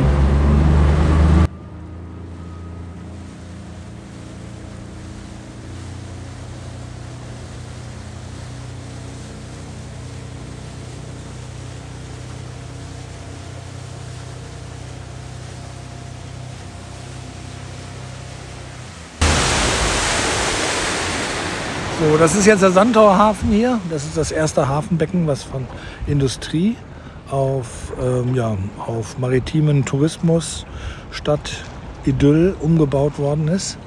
Und hier ist halt Hafen City par excellence zu sehen. Ich bin ein freundlicher Kritiker dieser Architektur, weil einfach der eine zum anderen nicht geschaut hat. Man weiß, man hat einfach seinen Kram dahingesetzt und hat nicht darauf geachtet, was daneben ist. Schon gar nicht. Also hier kann man noch sagen, okay, Rotklinker oder heller Klinker könnte man noch so ein bisschen Richtung Speicherstadt interpretieren. Dann geht das aber los, Kraut und Rüben. Und ich merke immer wieder, dass es gibt diesen, diesen englischen Begriff breathtaking, atemberaubend. Atemberaubende Architektur, finde ich, kriegen wir es hin. Das ist atemberaubend, ob man es mag oder nicht. Aber wenn man davor steht, das noch nie gesehen hat, und wenn ich hier vorstehe, dann muss ich höchstens würgen, aber, aber nicht oh, oh, so. Wenn man die Augen zumacht, dann wüsste man nicht, was man gerade gesehen hat, weil es ist einfach, naja, okay, vielleicht die Linse da vorne. Es ist einfach Architektur, die im Spektakulär, Spektakulitätsgrad zwischen 60 und 70 Prozent rumspielt. Entweder ich mache konservative Architektur, die dann auch schön ist, weil sie sich einbettet in, in ein Ensemble, oder ich muss Höchstleistungen bringen, wo ich wirklich sage, meine Güte, dass das nicht umfällt, meine Güte, was ist das denn für ein Lichtspiel, meine Güte. Und was die gemacht haben hier, allein hier dieser braune Bau oder hier, das ist für mich schon ähm, leider nicht nur langweilig, sondern das ist Architektur für, für, für 15 Jahre. Da guckt, danach guckt keiner mehr dahin. Es gibt aber auch Häuser, die mir einigermaßen gefallen und das ist das geradeaus, dieses Halbrunde. Tolle Idee, tolle Architektur, schön umgesetzt. Ähm, besonders könnte ich auch Augen zumalen und zumachen und das malen. Und dann so ein bisschen gefällt mir noch das China Shipping House was die tragende Struktur außen hat, das dunkle Braune mit den Doppel-T-Trägern in Rot, finde ich auch nicht schlecht. Und das Kupferhaus hinten, das sieht man von hier aus jetzt nicht so gut. Aber das ist eben richtig Kupfer, richtig Kupfer und macht was her. Ja, ansonsten ist hier eigentlich Museumshafen angesagt, aber irgendwie ist das Ding noch nie so richtig durchgestartet. Natürlich gibt es hier Schiffe, die ein bisschen älter sind. Die Schahörn haben sie hier in Verband. Ich glaube, da ist auch keiner so richtig glücklich mit. Die war eigentlich im Elbstrom äh, drüben ähm, auf der anderen Seite. Hier gibt es so einen Liga, da so ein Kran. Naja, naja. Was schön ist, ist hier die, die, äh, die Pontonanlage, die haben sie toll gemacht. Die ist groß genug, damit da auch. Achso, hier ist das Theaterschiff ist hier. Ja, ja, genau. weil das, äh, die renovieren da hinten. Und das äh, liegt normalerweise in der Stadt, das Theaterschiff. Genau. Ja, hier ist mein erträgliches, erträglicher Bau und das ist eigentlich sehr schön. Ja. Jetzt fahren wir einmal bis nach hinten und dann wieder zurück. Ja, hier sehen wir jetzt die Repsold, das ist ein historischer, historisches Feuerwehrschiff. Und hier tatsächlich auch noch Baurat Schmidt. Das habe ich, wusste ich gar nicht. Der ist außer Dienst gestellt worden. Weil der war eigentlich noch, als ich ihn letztes Mal gesehen habe, stand da noch Feuerwehr dran und war noch im Dienst. Aber der ist jetzt bestimmt ersetzt worden, natürlich äh, durch das große Feuerwehrschiff. Aber wenn man die Repsold, ganz, ganz lieber Eichner, wenn die das sehen, hallo, hallo. Weil manchmal darf ich da dran parken. Die haben da kein Problem mit. Ja, jetzt mal einmal rumdrehen. Dahin sehen wir die Speicherstadt durchschimmern. Da fahren wir jetzt auch gleich mal hin. Hier die Schahörn, der alte ähm, Senatsdampfer, bin ich auch schon mal mitgefahren. Ist natürlich ein richtiges Dampfschiff, fährt auch irre schön, geschmeidig, leise. Eine wunderschöne Maschine. Die Schahörn zu besichtigen ist einfach toll. Genau. So, wir fahren zurück. Ich melde mich aus der Speicherstadt. Das ist die Wohldorf hier. Eine alte Haddock-Fähre, sehr schön hergemacht. Da fahren noch ein paar in, Deut äh, in Hamburg mit rum. Die Haddock-Fähren. Ja. Hier das weiße Schiff ist die Seute Dern. Die ist jahrelang von Cuxhaven nach Helgoland gefahren, ein Butterschiff. Butterdampfer, wer es nicht kennt, es war mal so, dass wenn man die drei, drei Meilen Zone verlässt oder so ein bestimmtes Gebiet um, die, um den Hoheitsgebiet, dann äh, kann man zollfrei einkaufen. Und, das, man nahm dann also Waren mit, fuhr dann so weit weg, dass man zollfrei verkaufen durfte. Und dann ähm, fuhr man wieder zurück. Und dann konnte man halt auf dem Schiff einkaufen. Das waren die sogenannten Butterfahrten. Heute in der EU gibt es das nicht mehr. Oder vielleicht doch, ich weiß es nicht. Und die sollte deren, die fuhr halt immer zwischen Cuxhaven und Helgoland hin und her. Das macht heute der Halunderjet von Hamburg nach Helgoland. Mit Stopp in Cuxhaven, glaube ich. So, jetzt fahren wir hier gerade rum ums Eck. Kurz gucken. Vor uns jetzt hier der äh, City Sportboothafen. Das ist der Hafen für Segelboote, die nach Hamburg kommen. Da kann man wunderbar liegen. Natürlich ein bisschen unruhig, weil es wackelt ein bisschen und man hat Elbe und Flut. Aber, warte, ich muss mal aufstehen.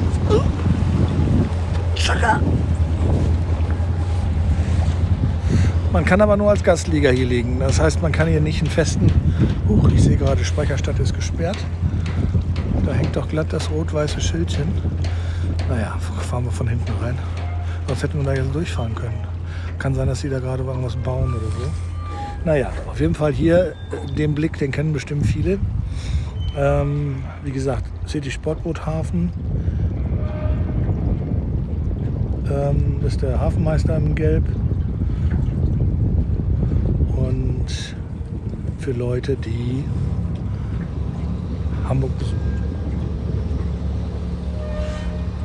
Darum ist Grunau ein Jahr. Das graue Gebäude, Michel.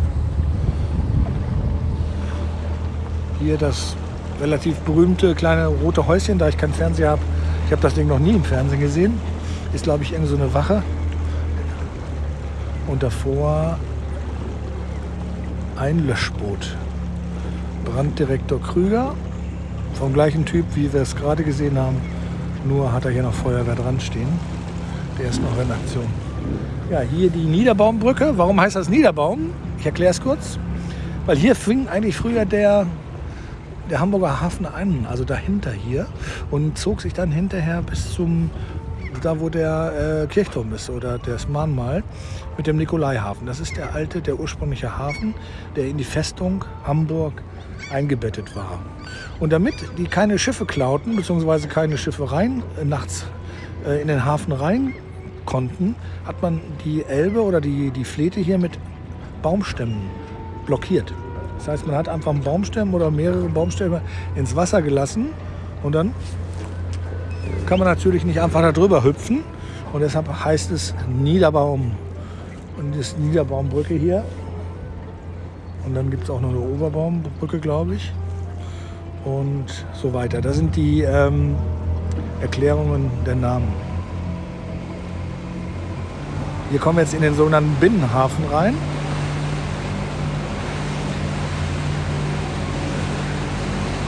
Und der Binnenhafen, da liegen Barkassen, weil man kann nicht nur Barkassen fahren von den Landungsbrücken aus, sondern ich empfehle jeden hier zu diesem äh, Turm da zu gehen, zu, dem, zu der kleinen Dingsbums und dann dort hier mit der Barkasse zu fahren. Oftmals sind die billiger und freundlicher habe ich aber nicht gesagt. Hier links geht's in, äh, den, in, die, in den Alsterfleet rein. Das heißt also, da kann man dann theoretisch in die Schleuse fahren. Und die Schleuse schleust einen dann hoch oder runter auf fast Alster-Level. Zumindest auf den Level der Gewässer, die dann in der Hamburger Innenstadt rumfließen. Und dann hat man ja nochmal eine Schleuse am Rathaus. Und dann ist man theoretisch in der oder auf der Alster. Nur mit dem Motorboot kommt man da nicht hin. Ein Paddelboot ja. Also natürlich mit Genehmigung ja, aber als Normalsterblicher nicht. So, hier haben wir jetzt nochmal die, die Barkassen. Den Binnenhafen finde ich immer besonders schön, weil wenn man von der Brücke guckt, sieht man auf den Michel und auf das Ganze drumherum. Ja, und hier ist so eine kleine Werft. Da basteln die auch immer an den Barkassen rum. Hier ist das ähm, Hanseatic Trade Center. Kervida. Kervida heißt Kervida, weil es wahrscheinlich heißt Lieber Seemann oder Seefrau, viel Spaß auf der Reise, aber komm wieder zurück. So, da hinten ist die Schifferkirche, die Flussschifferkirche. Man sieht das an dem Weißen Kreuz. Die bimmelt auch immer sonntags.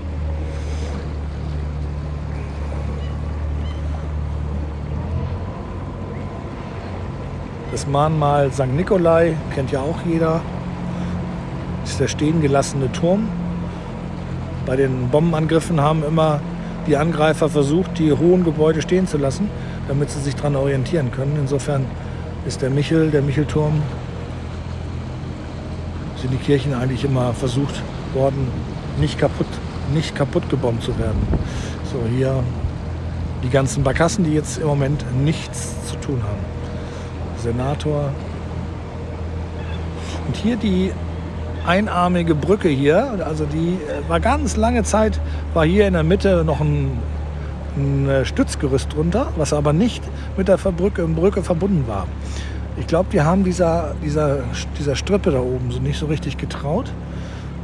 Äh, aber weil eigentlich brauchen wir immer doppelte Sicherheit, wenn da Leute drüber kommen oder drüber gehen. Und das ist eben nur ein Seil, was da ist, aber anscheinend hält es. Genau. Ach, guck, das ist ja auch interessant. Hier geht es nämlich normalerweise, da wo man die, das, die, die Bretter sieht, sozusagen, unter dem rot-weißen Schild, was heißt Durchfahrt verboten. Da geht es normalerweise in den Nikolaifleet rein. Da wäre ich auch gerne mit euch reingefahren. Kann man im Momentan nicht. Ich glaube, der wird, äh, ich weiß gar nicht, was damit gemacht wird. Wird wahrscheinlich instand gesetzt. Keine Ahnung. So, jetzt geht es hier weiter. Ich glaube, das ist der Grenzkanal, der Zollkanal heißt er. Früher war ja der Hamburger Hafen ein Freihafen, sprich es war ein abgezäuntes Gebiet. In dem Gebiet konnte man einführen und ausführen, ohne die Waren zu verzollen. Und äh, sobald man aber über diese Brücke fuhr hier, das war die Zollgrenze oder eine von vielen, musste man natürlich entsprechend Zollzölle zahlen. Und deshalb gibt es auch dort ähm, ein Zollmuseum. Aber hier noch nicht, da hinten ist das erst. Ja, hier rechts Speicherstadt. Gleich mal schauen, ob wir das von der anderen Seite noch sehen. Aber das kennt ihr ja alle.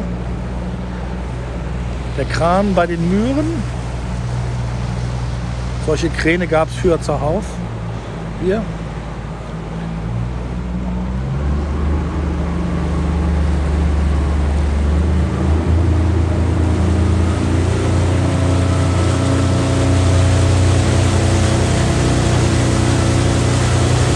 alles tot hier.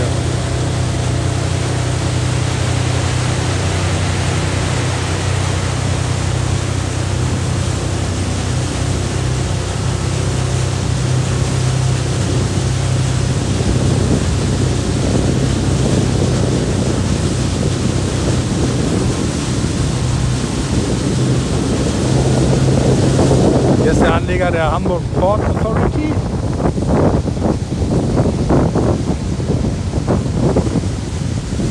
Hier müssen wir mal kurz eben anhalten. Wir sehen, dass das so eine Doppeldeckerbrücke ist. Das ist nämlich ganz interessant. Äh, wenn hier Hochwasser ist, dann kann es sein, dass die Brücken von dem Hochwasser überschwemmt werden. Das heißt, es gibt keine Möglichkeit mehr, von der Innenstadt in die Hafen City zu kommen. Und hier diese Konstruktion, diese Brücke, hat oben eine Fahrspur, die 30 Tonnen trägt. Das heißt, da können auch schwere LKWs langfahren. Und da fährt auch die Feuerwehr lang, wenn hier unten Holland in Not ist. Das heißt, so kommen die immer noch trockenen Reifens in die Hamburger Hafen City. So, jetzt gucken wir mal, ob wir rechts fahren können. Oder Steuerbord. St. Katharinenkirche. Hier ist auch dieses dünne, schmale Haus hier, was man da, da sieht. Sieht normalerweise auch niemand, weil keiner hinguckt.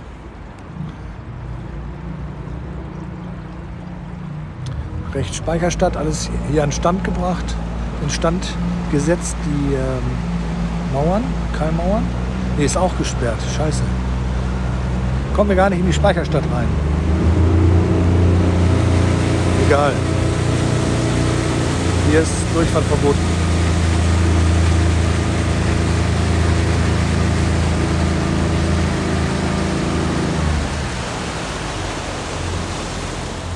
Wahrscheinlich ist, da sollte man übrigens nie mit scherzen, das ist, äh, man weiß nie, was da ist, weil du kannst nie unter das Wasser gucken. Kann sein, dass da irgendwie ein U-Boot gesunken ist. Und wenn man da reinfährt, dann macht es Klonker, Klonker und dann hast du dich groß blamiert. Jo, weiter geht's. Hier sieht man jetzt die, das, die Brücke mit den, mit den Zolleinrichtungen. Und zwar sieht man diese hier, da, diese Tore, da ist noch Durchfahrt verboten. Die wurden nachts abgeschlossen, zugemacht. Und dann war zappenduster, da kam keiner mehr rein und wieder raus. Und äh, dieses ganze Gestänge da oben, das ist der alte Zollzaun. Und man kann das so sehen. Ja, und den Freihafen gibt es ja schon lange nicht mehr. Mit der Planung der Hafen City wurde der eingestampft vor, weiß ich nicht, 15 Jahren, 20 Jahren, 15 Jahren.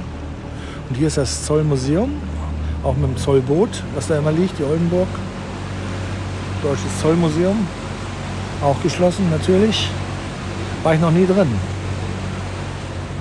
Gibt es also lustige Geschichten von, wie heißen die nochmal, wenn man den Zoll bescheißt? Schmugglern. Schmugglern. Ja. Wie die Brandstwiete, wir sind jetzt wenn einer Google Maps gucken will, braucht er nur nach Brands Tweete gucken. Dann sieht er, auf welcher Höhe wir sind. Oder Zollmuseum. Ja, jetzt sind wir schon fast durch. Also die Speicherstadt ist natürlich auf der rechten Seite jetzt von uns. Und links sehen wir das Kontorhausviertel mit einem ganz bekannten Haus, nämlich dem Chile Haus. Das Chile Haus, was ich als Fotograf rauf und runter fotografiert habe, weil ich für den Besitzer, für den Inhaber Union Investment viel arbeite.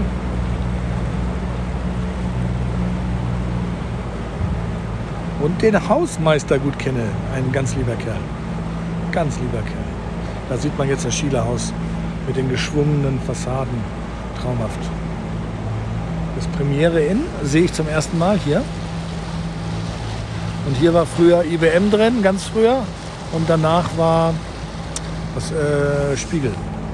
Da gab es einen Spiegel im Spiegelhochhaus noch nicht. Hallo.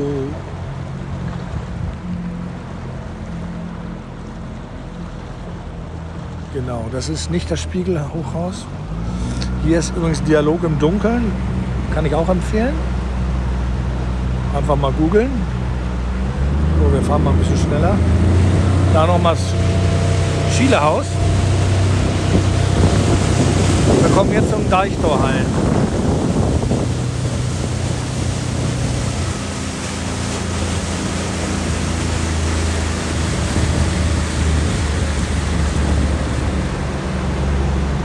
Hier haben wir Spiegelhochhaus. Davor ist eine Wasserstofftankstelle. Die werden wahrscheinlich auch alle Homeoffice machen. Obwohl, hier und da leuchtet Licht. Oder ist es nur Reflexion? Keine Ahnung. Also hier kämen wir jetzt auch in die, in die Speicherstadt rein. Können wir mal gucken. Kann ja nicht alles zu sein hier.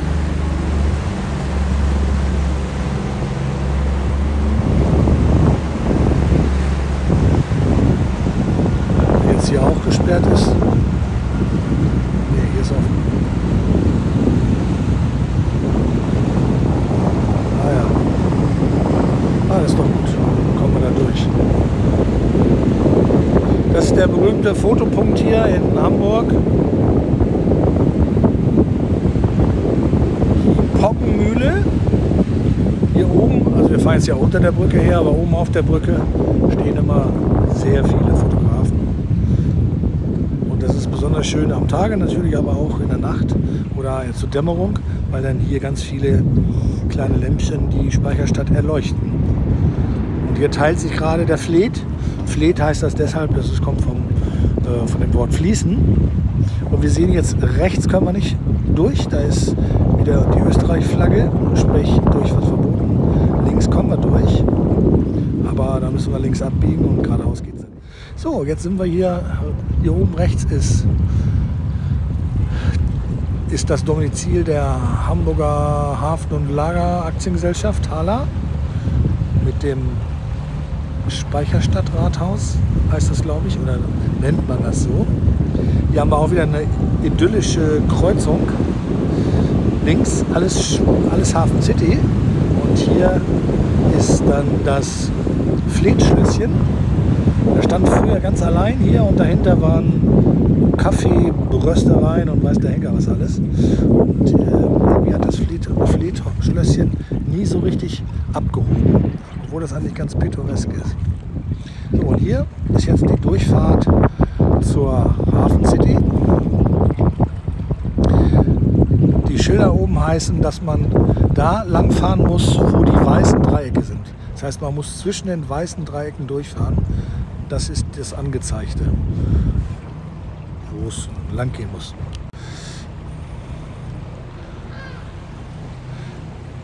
So, wir fahren jetzt unter, wie heißt denn die Straße?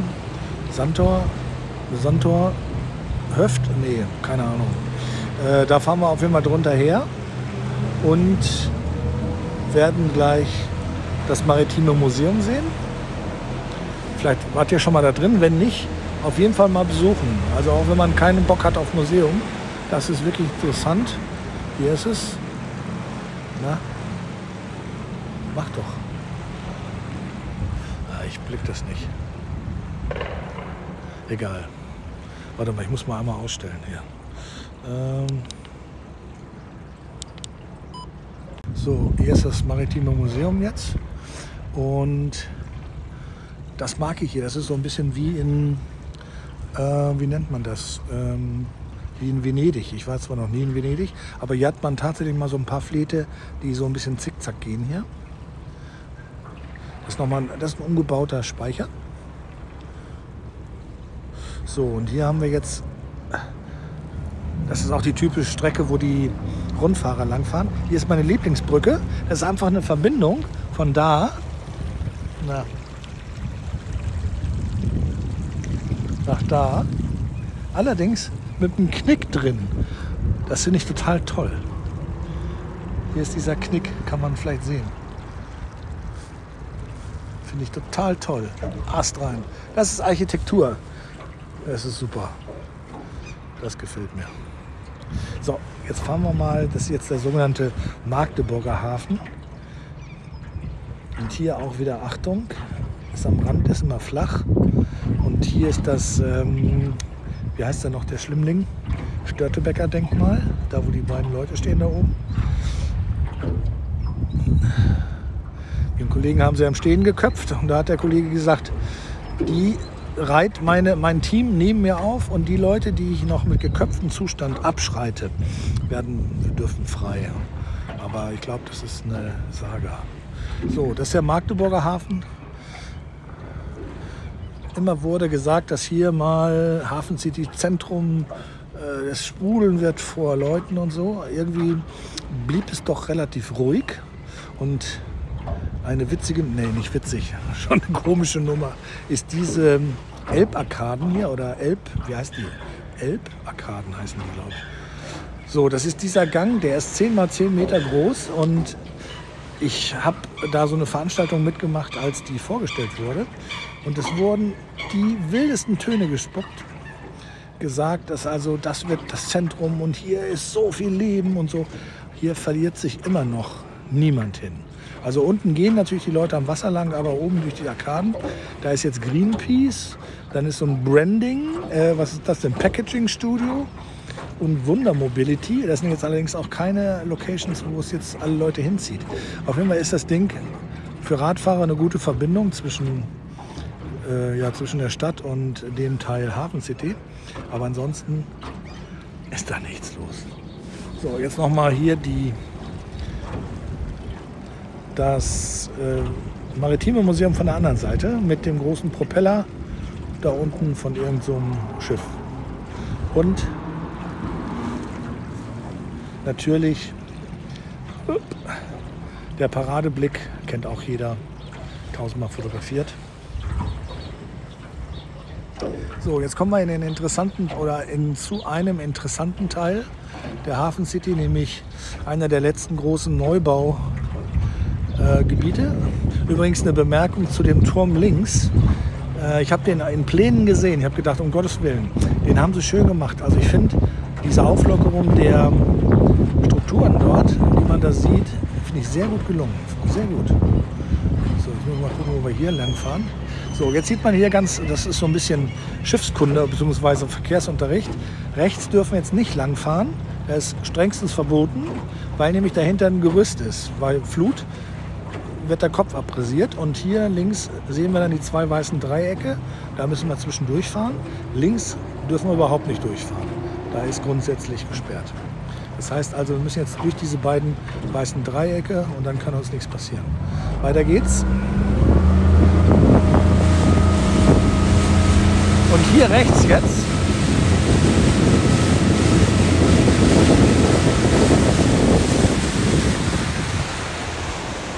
dieses ganze Gebiet mit den vielen, vielen Kränen, da, das ist jetzt eine Riesenbaugrube mit einem Riesenprojekt und da bin ich sehr gespannt drauf, wie das fertiggestellt aussehen wird.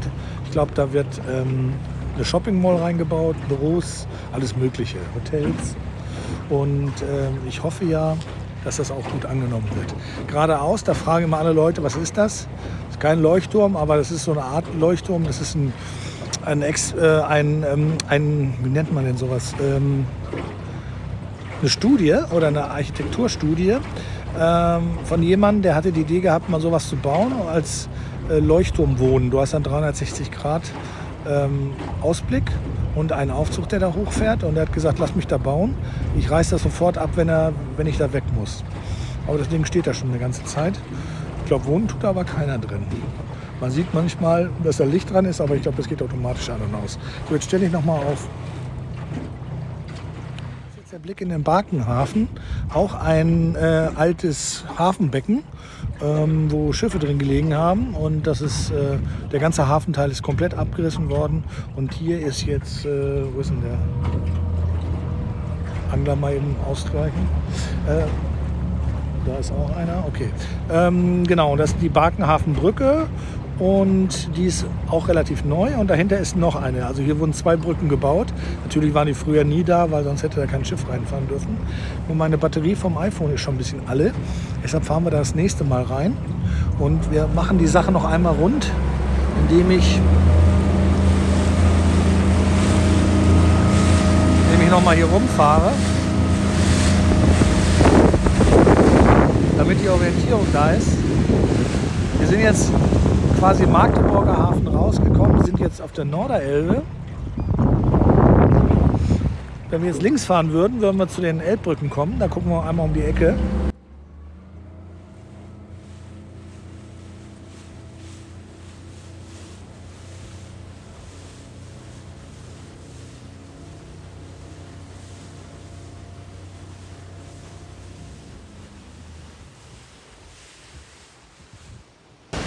Da liegt die Metro Strait und dahinter sind die Elbbrücken. Da ist quasi Schluss mit äh, Schifffahrt.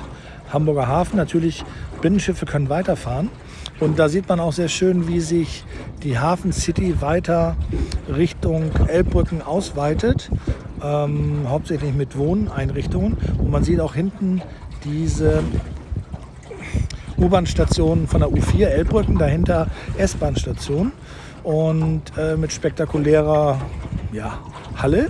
Und dies, da geht dann auch später irgendwann mal äh, die U-Bahn weiter über die Elbe und dann in diesen Bereich rein. Hier wäre nämlich früher, wäre Olympia nach Hamburg gekommen, hätte hier Olympia in diesem Bereich stattgefunden, dann wäre die U-Bahn schon fertig gewesen.